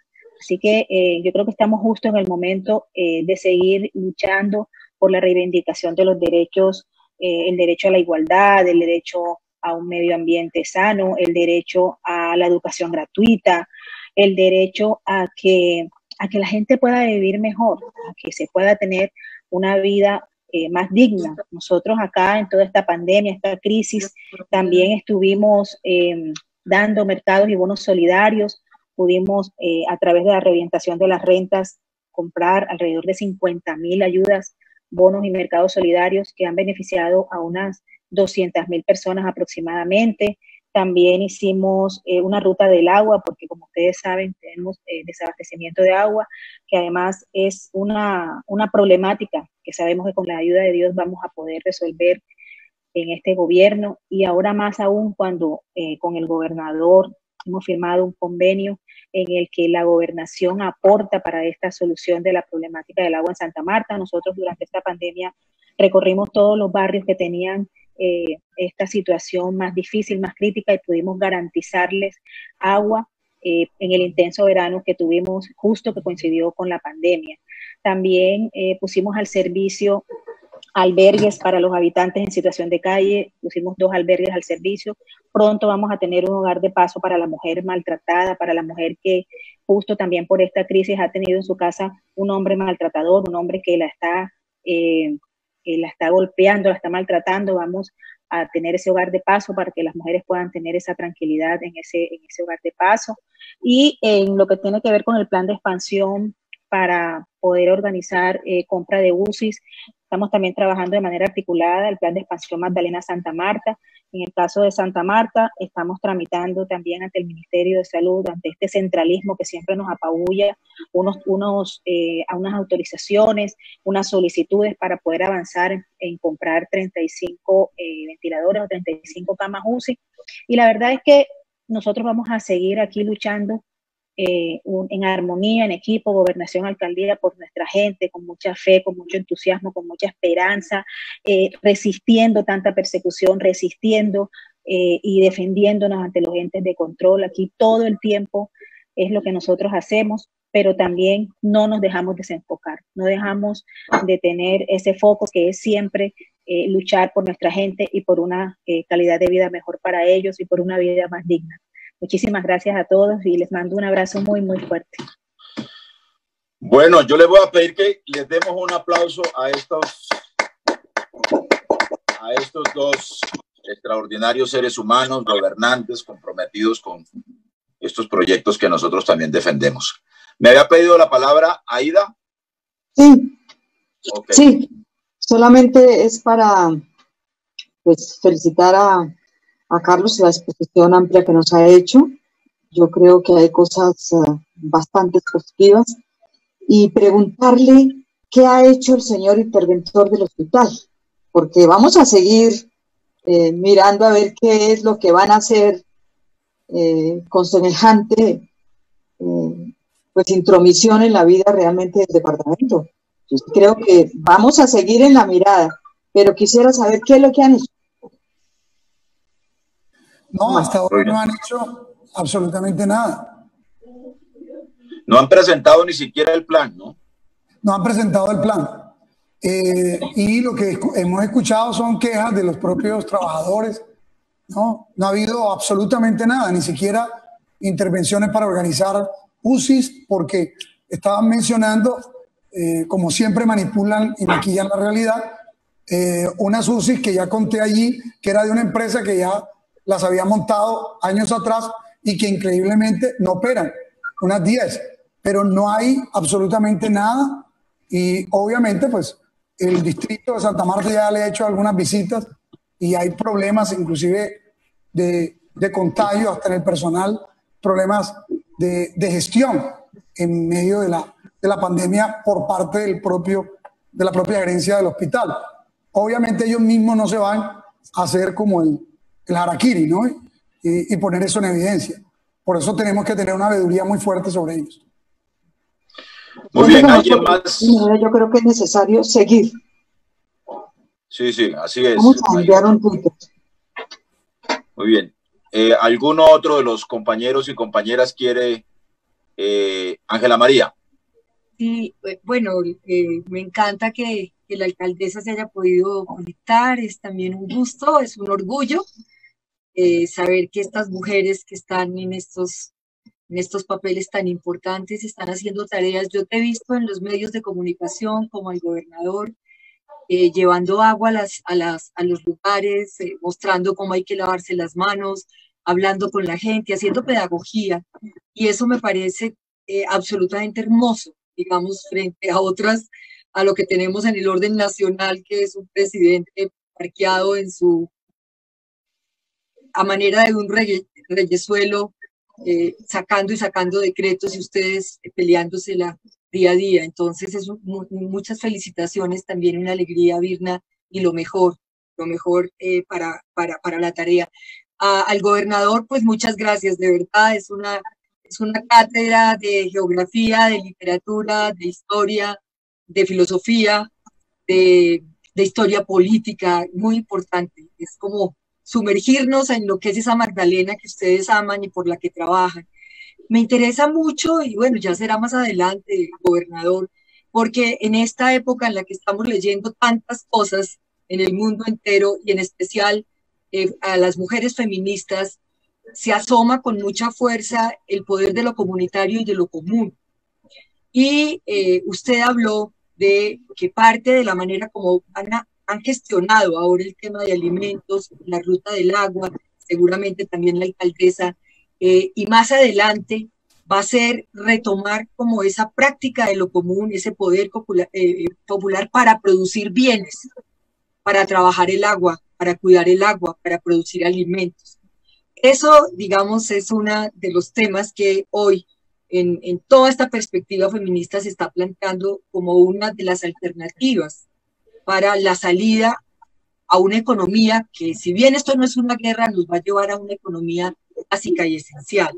Entonces, quisiera escucharles eh, cómo, cómo, van a, eh, cómo van a proyectar esa construcción de bienes comunes. Nosotros estamos hablando de, lugares de cocinas comunes, de eh, lugares donde las mujeres puedan llegar a lavar en, en lavadoras comunes, que eso se pueda incluso convertir en una pequeña actividad productiva para las mujeres. Entonces quisiera saber eh, cómo, cómo lo están pensando porque me pareció muy, muy interesante. Muy bien, eh, eh, doctora Ángela María. hay varias posibilidades en la agricultura, en la producción de materiales de construcción, porque aquí hay un déficit cualitativo del 48% de vivienda. Eh, vivienda precaria, es decir, suelo de, tierra o, paredes precarias o techo precario. Y eh, evidentemente hay que mejorarlos. Parte del mejoramiento, y por eso es que hemos creado un programa, lo que pasa es que los recursos son limitados. El programa y el proyecto, ahí le iremos colocando recursos para eh, conformar empresas cooperativas para producir materiales y que esos materiales puedan servir para el programa de mejoramiento de la vivienda, que estén más críticas en la zona donde focalicemos, por ejemplo, eh, este asunto. El otro es también los comedores populares, que hemos planteado hacerlos en los colegios, que, son las infraestructuras que tenemos. Hay como 800 40 y, esto nos permite tener presencia en muchos municipios o corregimientos. Eh, hemos planteado un proyecto de granjas, o sea, de huertas dentro de los colegios, porque es que aquí hay bastantes colegios agrícolas con extensiones de 10 hectáreas, es decir, que podríamos sumar un número muy importante de hectáreas en el departamento, en estos colegios, y con el trabajo no solo de los estudiantes, sino también de la comunidad, producir allí y que estos alimentos, lo que se produzca, sirva para los comedores populares, para las personas que no puedan, no tengan, digámosle, cómo comer. Porque es que hay un problema que personas no tienen literal cómo comer. Y eso yo lo encontré a lo largo de la campaña, no es solamente hablando ahorita de la pandemia, es que es realmente una situación. Aquí hay muchas familias que no comen las tres comidas, realmente en Colombia, pero aquí es uno de los departamentos con las mayores tasas de pobreza en el país eh, amén que somos el cuarto más pobre en ingresos y el séptimo en pobreza multidimensional de los 32. ¿ah?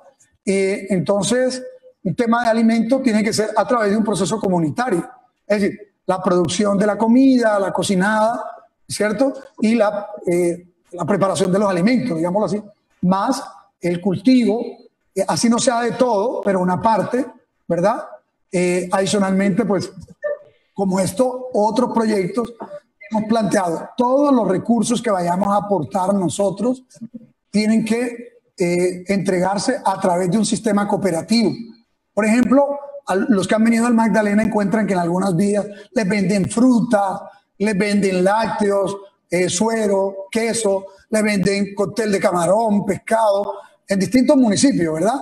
Bueno, hemos dicho, creemos eh, una red de microcomercio, organicemos esa venta, organicemos la cadena de frío, capacitemos. Ah, en algunos puntos fritos, comida en la carretera. Bueno, porque eso no lo organizamos y, y lo organizamos y lo, lo, lo, creamos como un sistema, como una red de microproducción, de microcomercio, que asociado a la cooperativa multiactiva que nos hemos planteado. Evidentemente la asociatividad es el camino. Y quiero, alguien me hizo un comentario plantear que buena parte de la producción bananera, e inclusive de palma, hay que decir la verdad, pertenece a pequeños propietarios, no solo a los grandes. Evidentemente, nuestra crítica a la concentración de tierra y a la renta, la concentración de la renta en pocas manos, eh, es una, una, crítica no solo para el Magdalena, también para el país. Aquí se expresa en, en grado superlativo, pero hay muchos pequeños campesinos que se fueron asociando a la actividad bananera o palmera. Nuestro cuestionamiento ha sido que en, la medida en que eso ha ocurrido, se ha dejado de producir comida. Y la producción de comida tiene que hacerse de manera prioritaria. Y esta, a la postre, debe hacerse a través de sistemas asociativos. Porque un campesino con 5 hectáreas o 10 hectáreas no tiene la capacidad de producir suficientemente.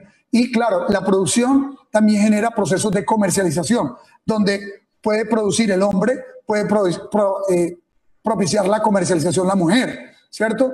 Eh, o sea, la combinación de, de esfuerzos familiares para que efectivamente podamos escalar unos nuevos niveles. Aquí tenemos que utilizar todas las herramientas eh, que están contenidas en programas de la FAO, de el, PNUD, de, de, las organizaciones no gubernamentales internacionales, de la academia. Es decir, toda la experiencia el conocimiento acumulado de cómo se logra sacar de la pobreza extrema a la gente, porque es que estamos hablando de, una, de un 17% y estamos hablando de eh, un 38% en extrema, en pobreza, y en pobreza multidimensional de un 47%. Es decir, mucha gente, mucha gente. Y esto es a través del sistema colaborativo, de procesos de solidaridad, de procesos asociativos, de procesos cooperativos. Eh, hay una serie de programas para comunidades afro, para mujeres y para indígenas, y estoy seguro que muchas de esas iniciativas pues, se van a focalizar en temas de generación de ingresos, eh, por ejemplo, producción de artesanías, tema muy importante, las mochilas de, de los pueblos indígenas nuestros, que se cotizan con un precio extraordinario a nivel internacional, pero ellos, ellos reciben muy poco. Lo que queremos es mejorar los procesos de producción artesanal y todo esto va a estar ligado a educación para el trabajo y educación superior. Los programas que vamos a llevar a los territorios están articulados a estas apuestas, es decir, porque nada de esto puede ser posible sin conocimiento. Entonces, eh, la formación técnica laboral, técnica profesional, tecnológica y universitaria gratuita, llevada a los territorios a la par de la alfabetización, ¿cierto? Con cursos cortos, todos los procesos asociativos en distintas líneas que esperamos seguir concretando con la gente, es lo que nos puede permitir generar como una nueva dinámica eh, a nivel territorial en materia de empleo e ingreso. Bueno, me ha pedido la palabra Alexander López. Quiere eh, plantear una inquietud o una reflexión. Alexander, por favor. Eh, muchas gracias, Carlos y, compañero. No, pues la verdad, pues muy entusiasmado con, con todo el informe que nos entregas y la, la propuesta.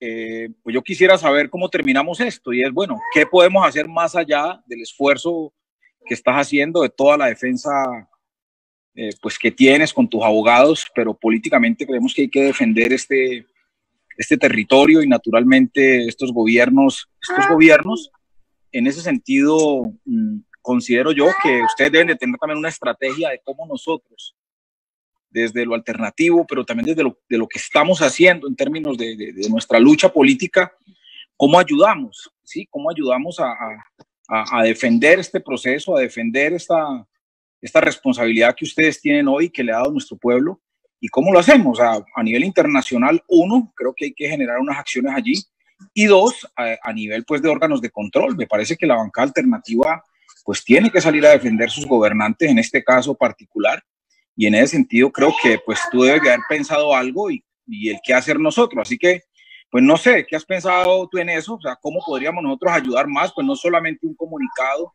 no, no solamente pues eh, un trino, no solamente una carta, en fin, ¿qué más podemos hacer nosotros en esa posibilidad pues de, de, fortalecer la defensa de ustedes y naturalmente de tener las garantías que se requieren para este tipo de procesos? Básicamente sería eso. Muchas gracias.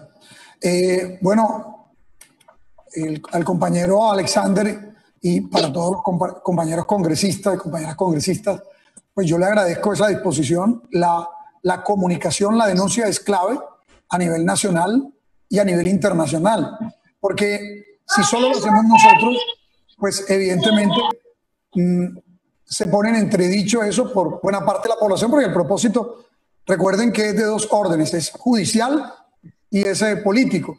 Y el político eh, se dirige a atacar el capital de credibilidad. ¿sí?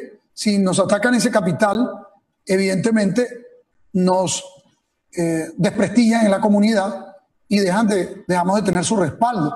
Este respaldo es fundamental para que los procesos sigan teniendo gobernabilidad, ¿sí? para que tengamos el respaldo de la comunidad. Lo que buscan es, en la medida en que ponen a la gente a dudar, que deje de rodearnos y en la medida en que deja de rodearnos, pues vamos cayendo en los indicadores de reconocimiento y respaldo y es más fácil para ellos golpearnos, ¿sí?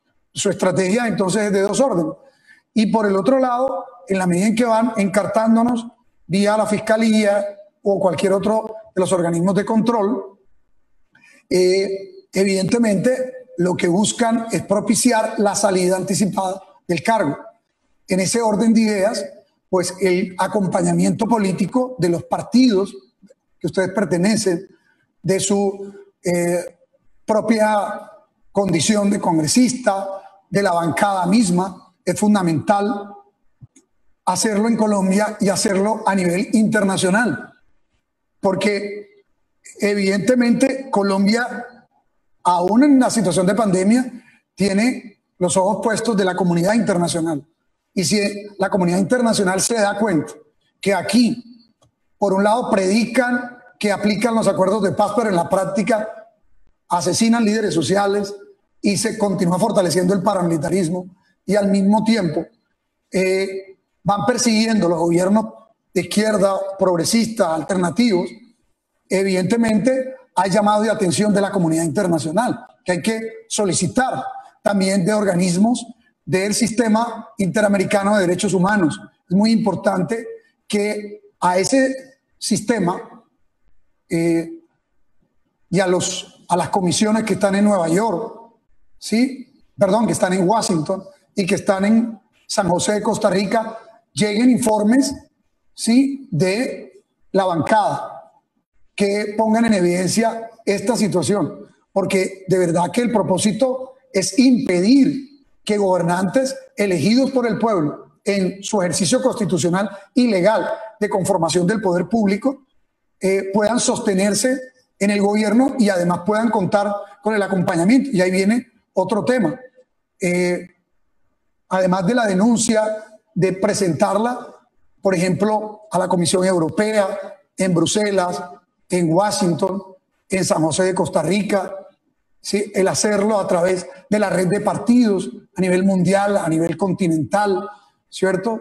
Esto es fundamental, es pedirle cuenta a los organismos de control por esta persecución, ¿cierto? Es eh, porque es que permitir que actúen con el desbordamiento que están actuando la propia Fiscalía General, intentando hacer montajes permanentemente, siendo manipulado como lo fue aquí eh, por un fiscal seccional, que a la postre la propia Fiscalía, no este fiscal, la anterior, no la de Néstor Humberto Martínez, sino el encargado, tuvieron que destituir en plena campaña.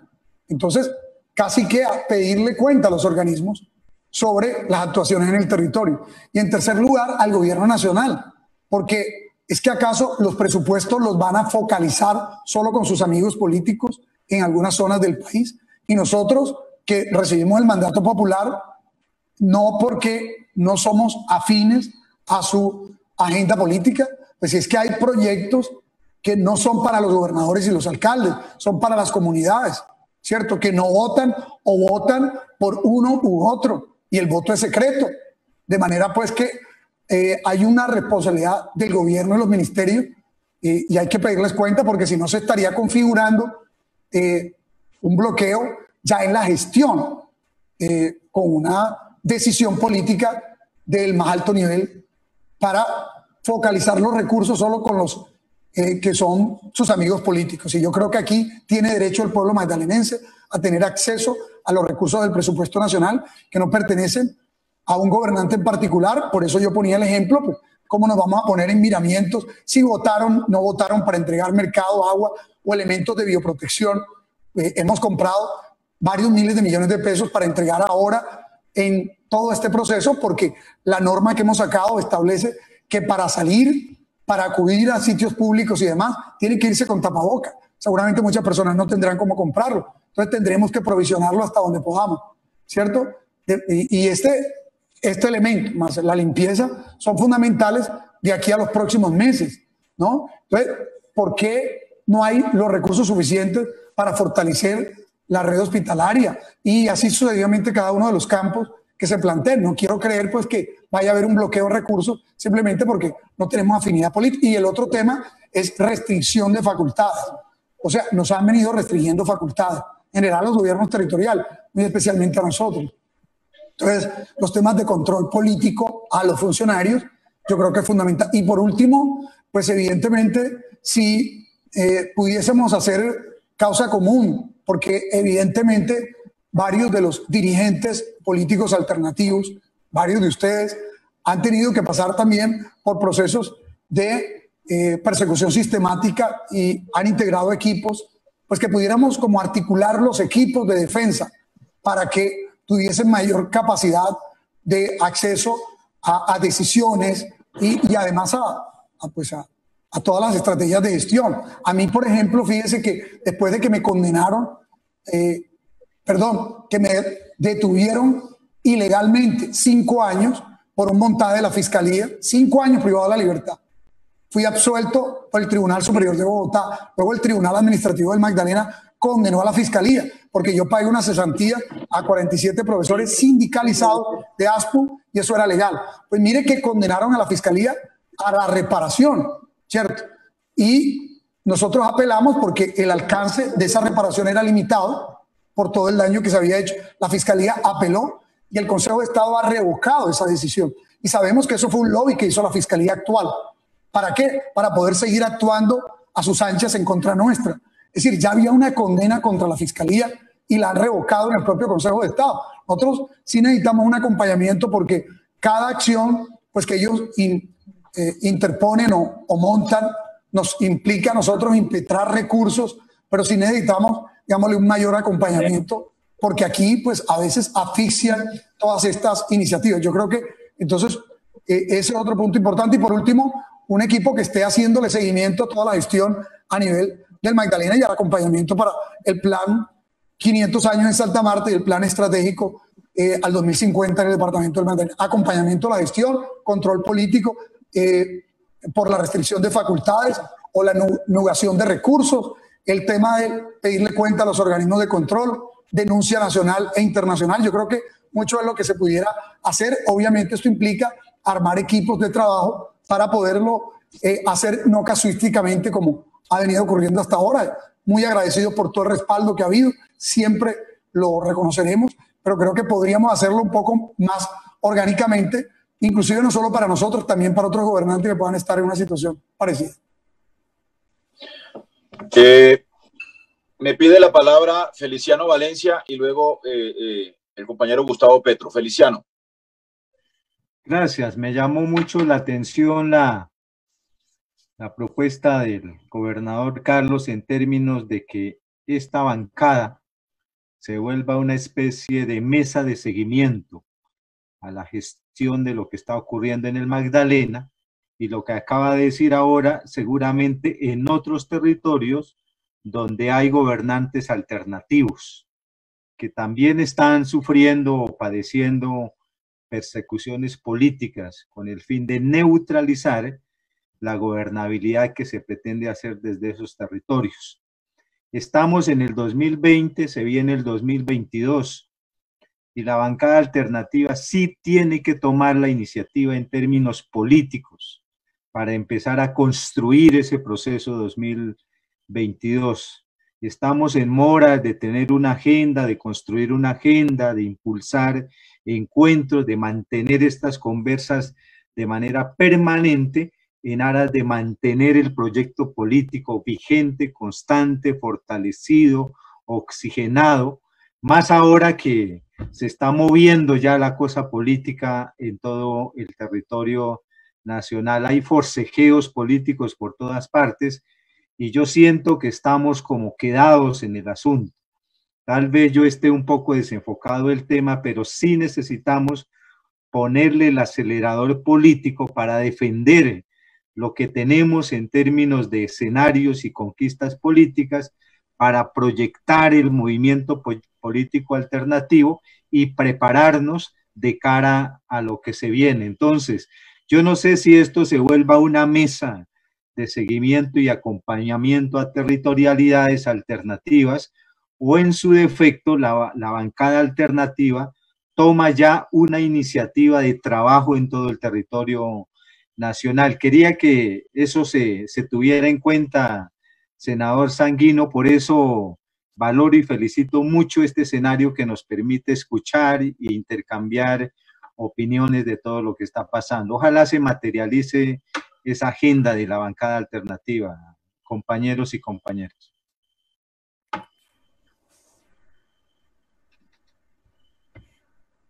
Sí, en, efecto, eh, senador Feliciano, eh, pues se podría establecer ese acompañamiento más institucional, más formalizado, eh, de manera que tuviésemos unas sesiones periódicas porque si bajamos la guardia, evidentemente hay más riesgos. En general, el abusador actúa cuando ve solo a la presa, o a la, el cazador cuando ve solo a la presa y el abusador cuando ve solo, ve solo al, al, a la persona que quiere abusar.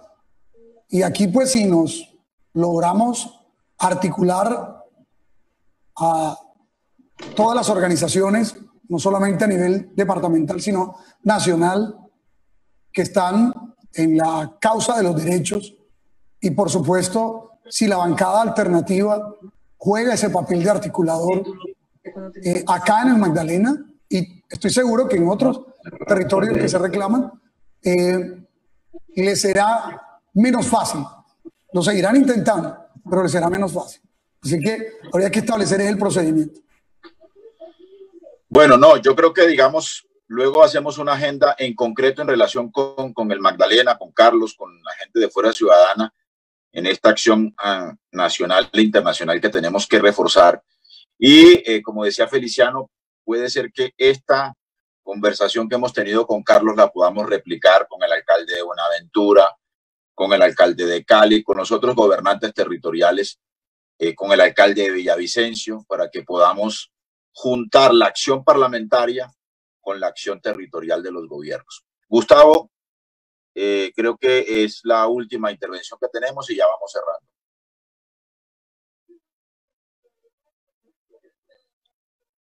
Por favor, habilitan el micrófono de Gustavo. Ya, se oye, sí.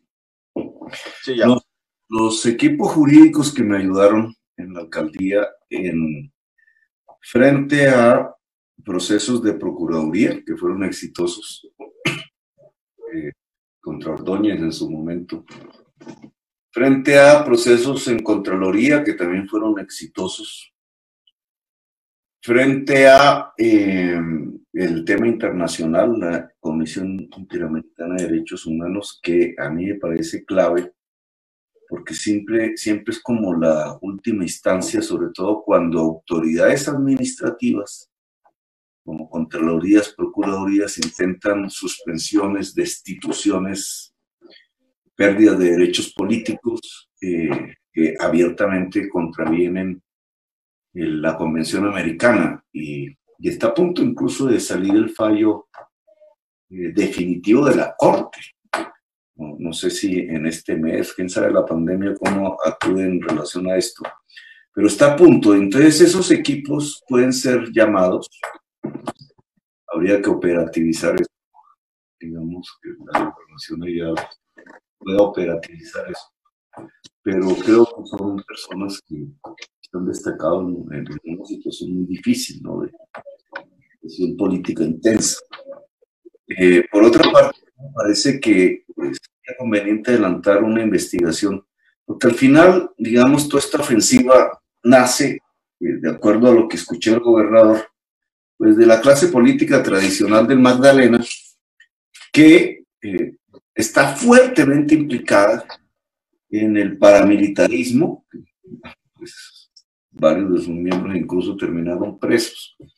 Y antes que el paramilitarismo ya lo estaba en el narcotráfico. Eh, obviamente no todos, eh, siempre las generalizaciones son odiosas, pero sí eh, de una manera fundamental. Y hoy habría que mirar cómo es ese panorama, eh, digamos, del narcotráfico en la región, cómo se está porque al final es de ahí de donde viene el peligro y la utilización de la clase política. A mí me preocupa eh, eh, en Bogotá el tema aeropuerto, por ejemplo, y la, el control eh, que los carteles mexicanos empiezan a tener de la población alrededor del y de la policía alrededor del aeropuerto. Y si uno mira pero esto habría que investigarlo bien, el tema ya en, en Sierra, la Sierra y, y, la región del Magdalena, lo que encontraríamos es que el, punto clave es obviamente el mar, pero también ahí una infraestructura que se llama el puerto. Puertos que fueron privatizados fundamentalmente en el gobierno Uribe, como los aeropuertos. Él tiene esa varita permanente y la privatización de aeropuertos y la privatización de puertos ha disparado el narcotráfico. El narcotráfico no solo se mueve por ensenadas, lanchas, como en el Pacífico, eh, en algunos lugares, sino a través de la infraestructura propia privatizada del país como, como el puerto o el aeropuerto. Entonces, ¿cómo es que se está moviendo ese conflicto, plan del Golfo, Pachencas, mafias que controlan eh, militarmente el aeropuerto, policías, secciones del ejército y la clase política, que entonces ve un obstáculo en el desarrollo de ese estilo de economía y después lava dólares en, en el banano y en la palma, el desalojo de la tierra, eh, ve un obstáculo en que una fuerza progresista se volvió victoriosa electoralmente y entonces intentan barrerla.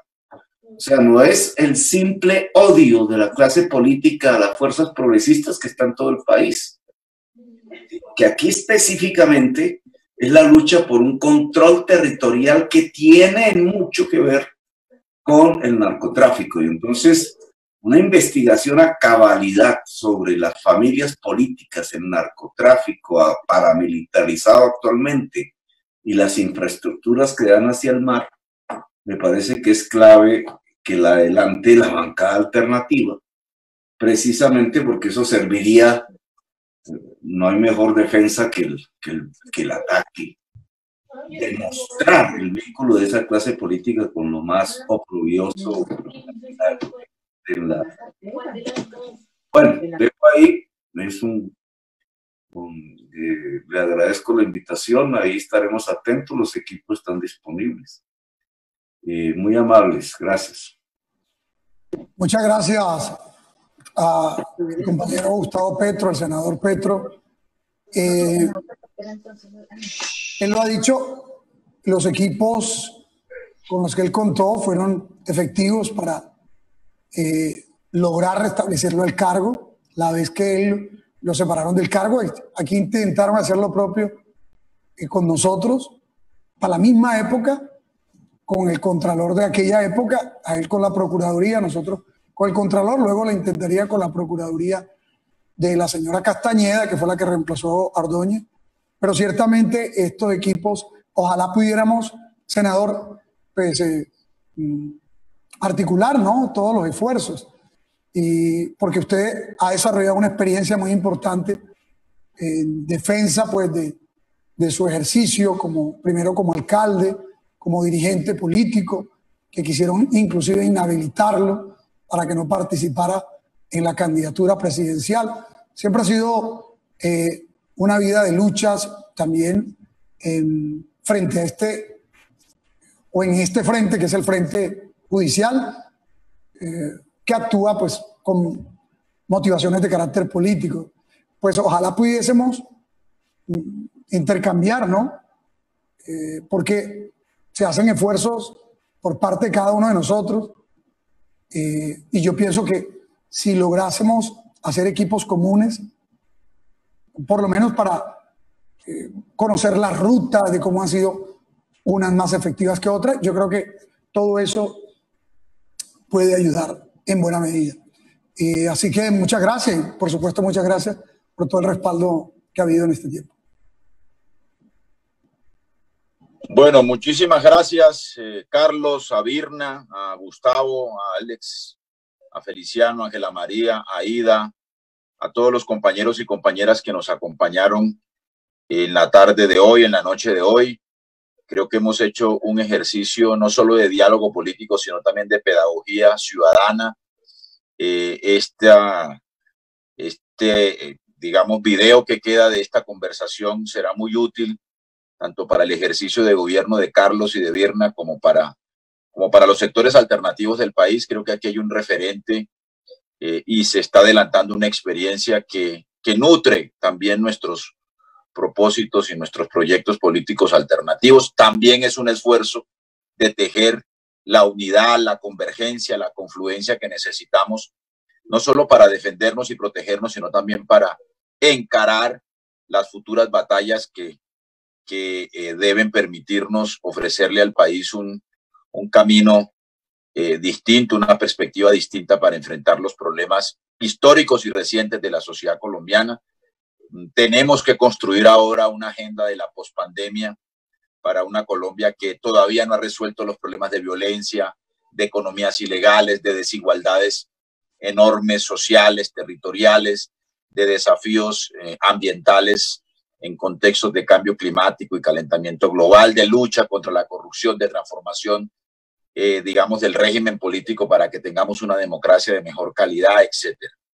De tal suerte que este diálogo a mí me parece que es supremamente enriquecedor.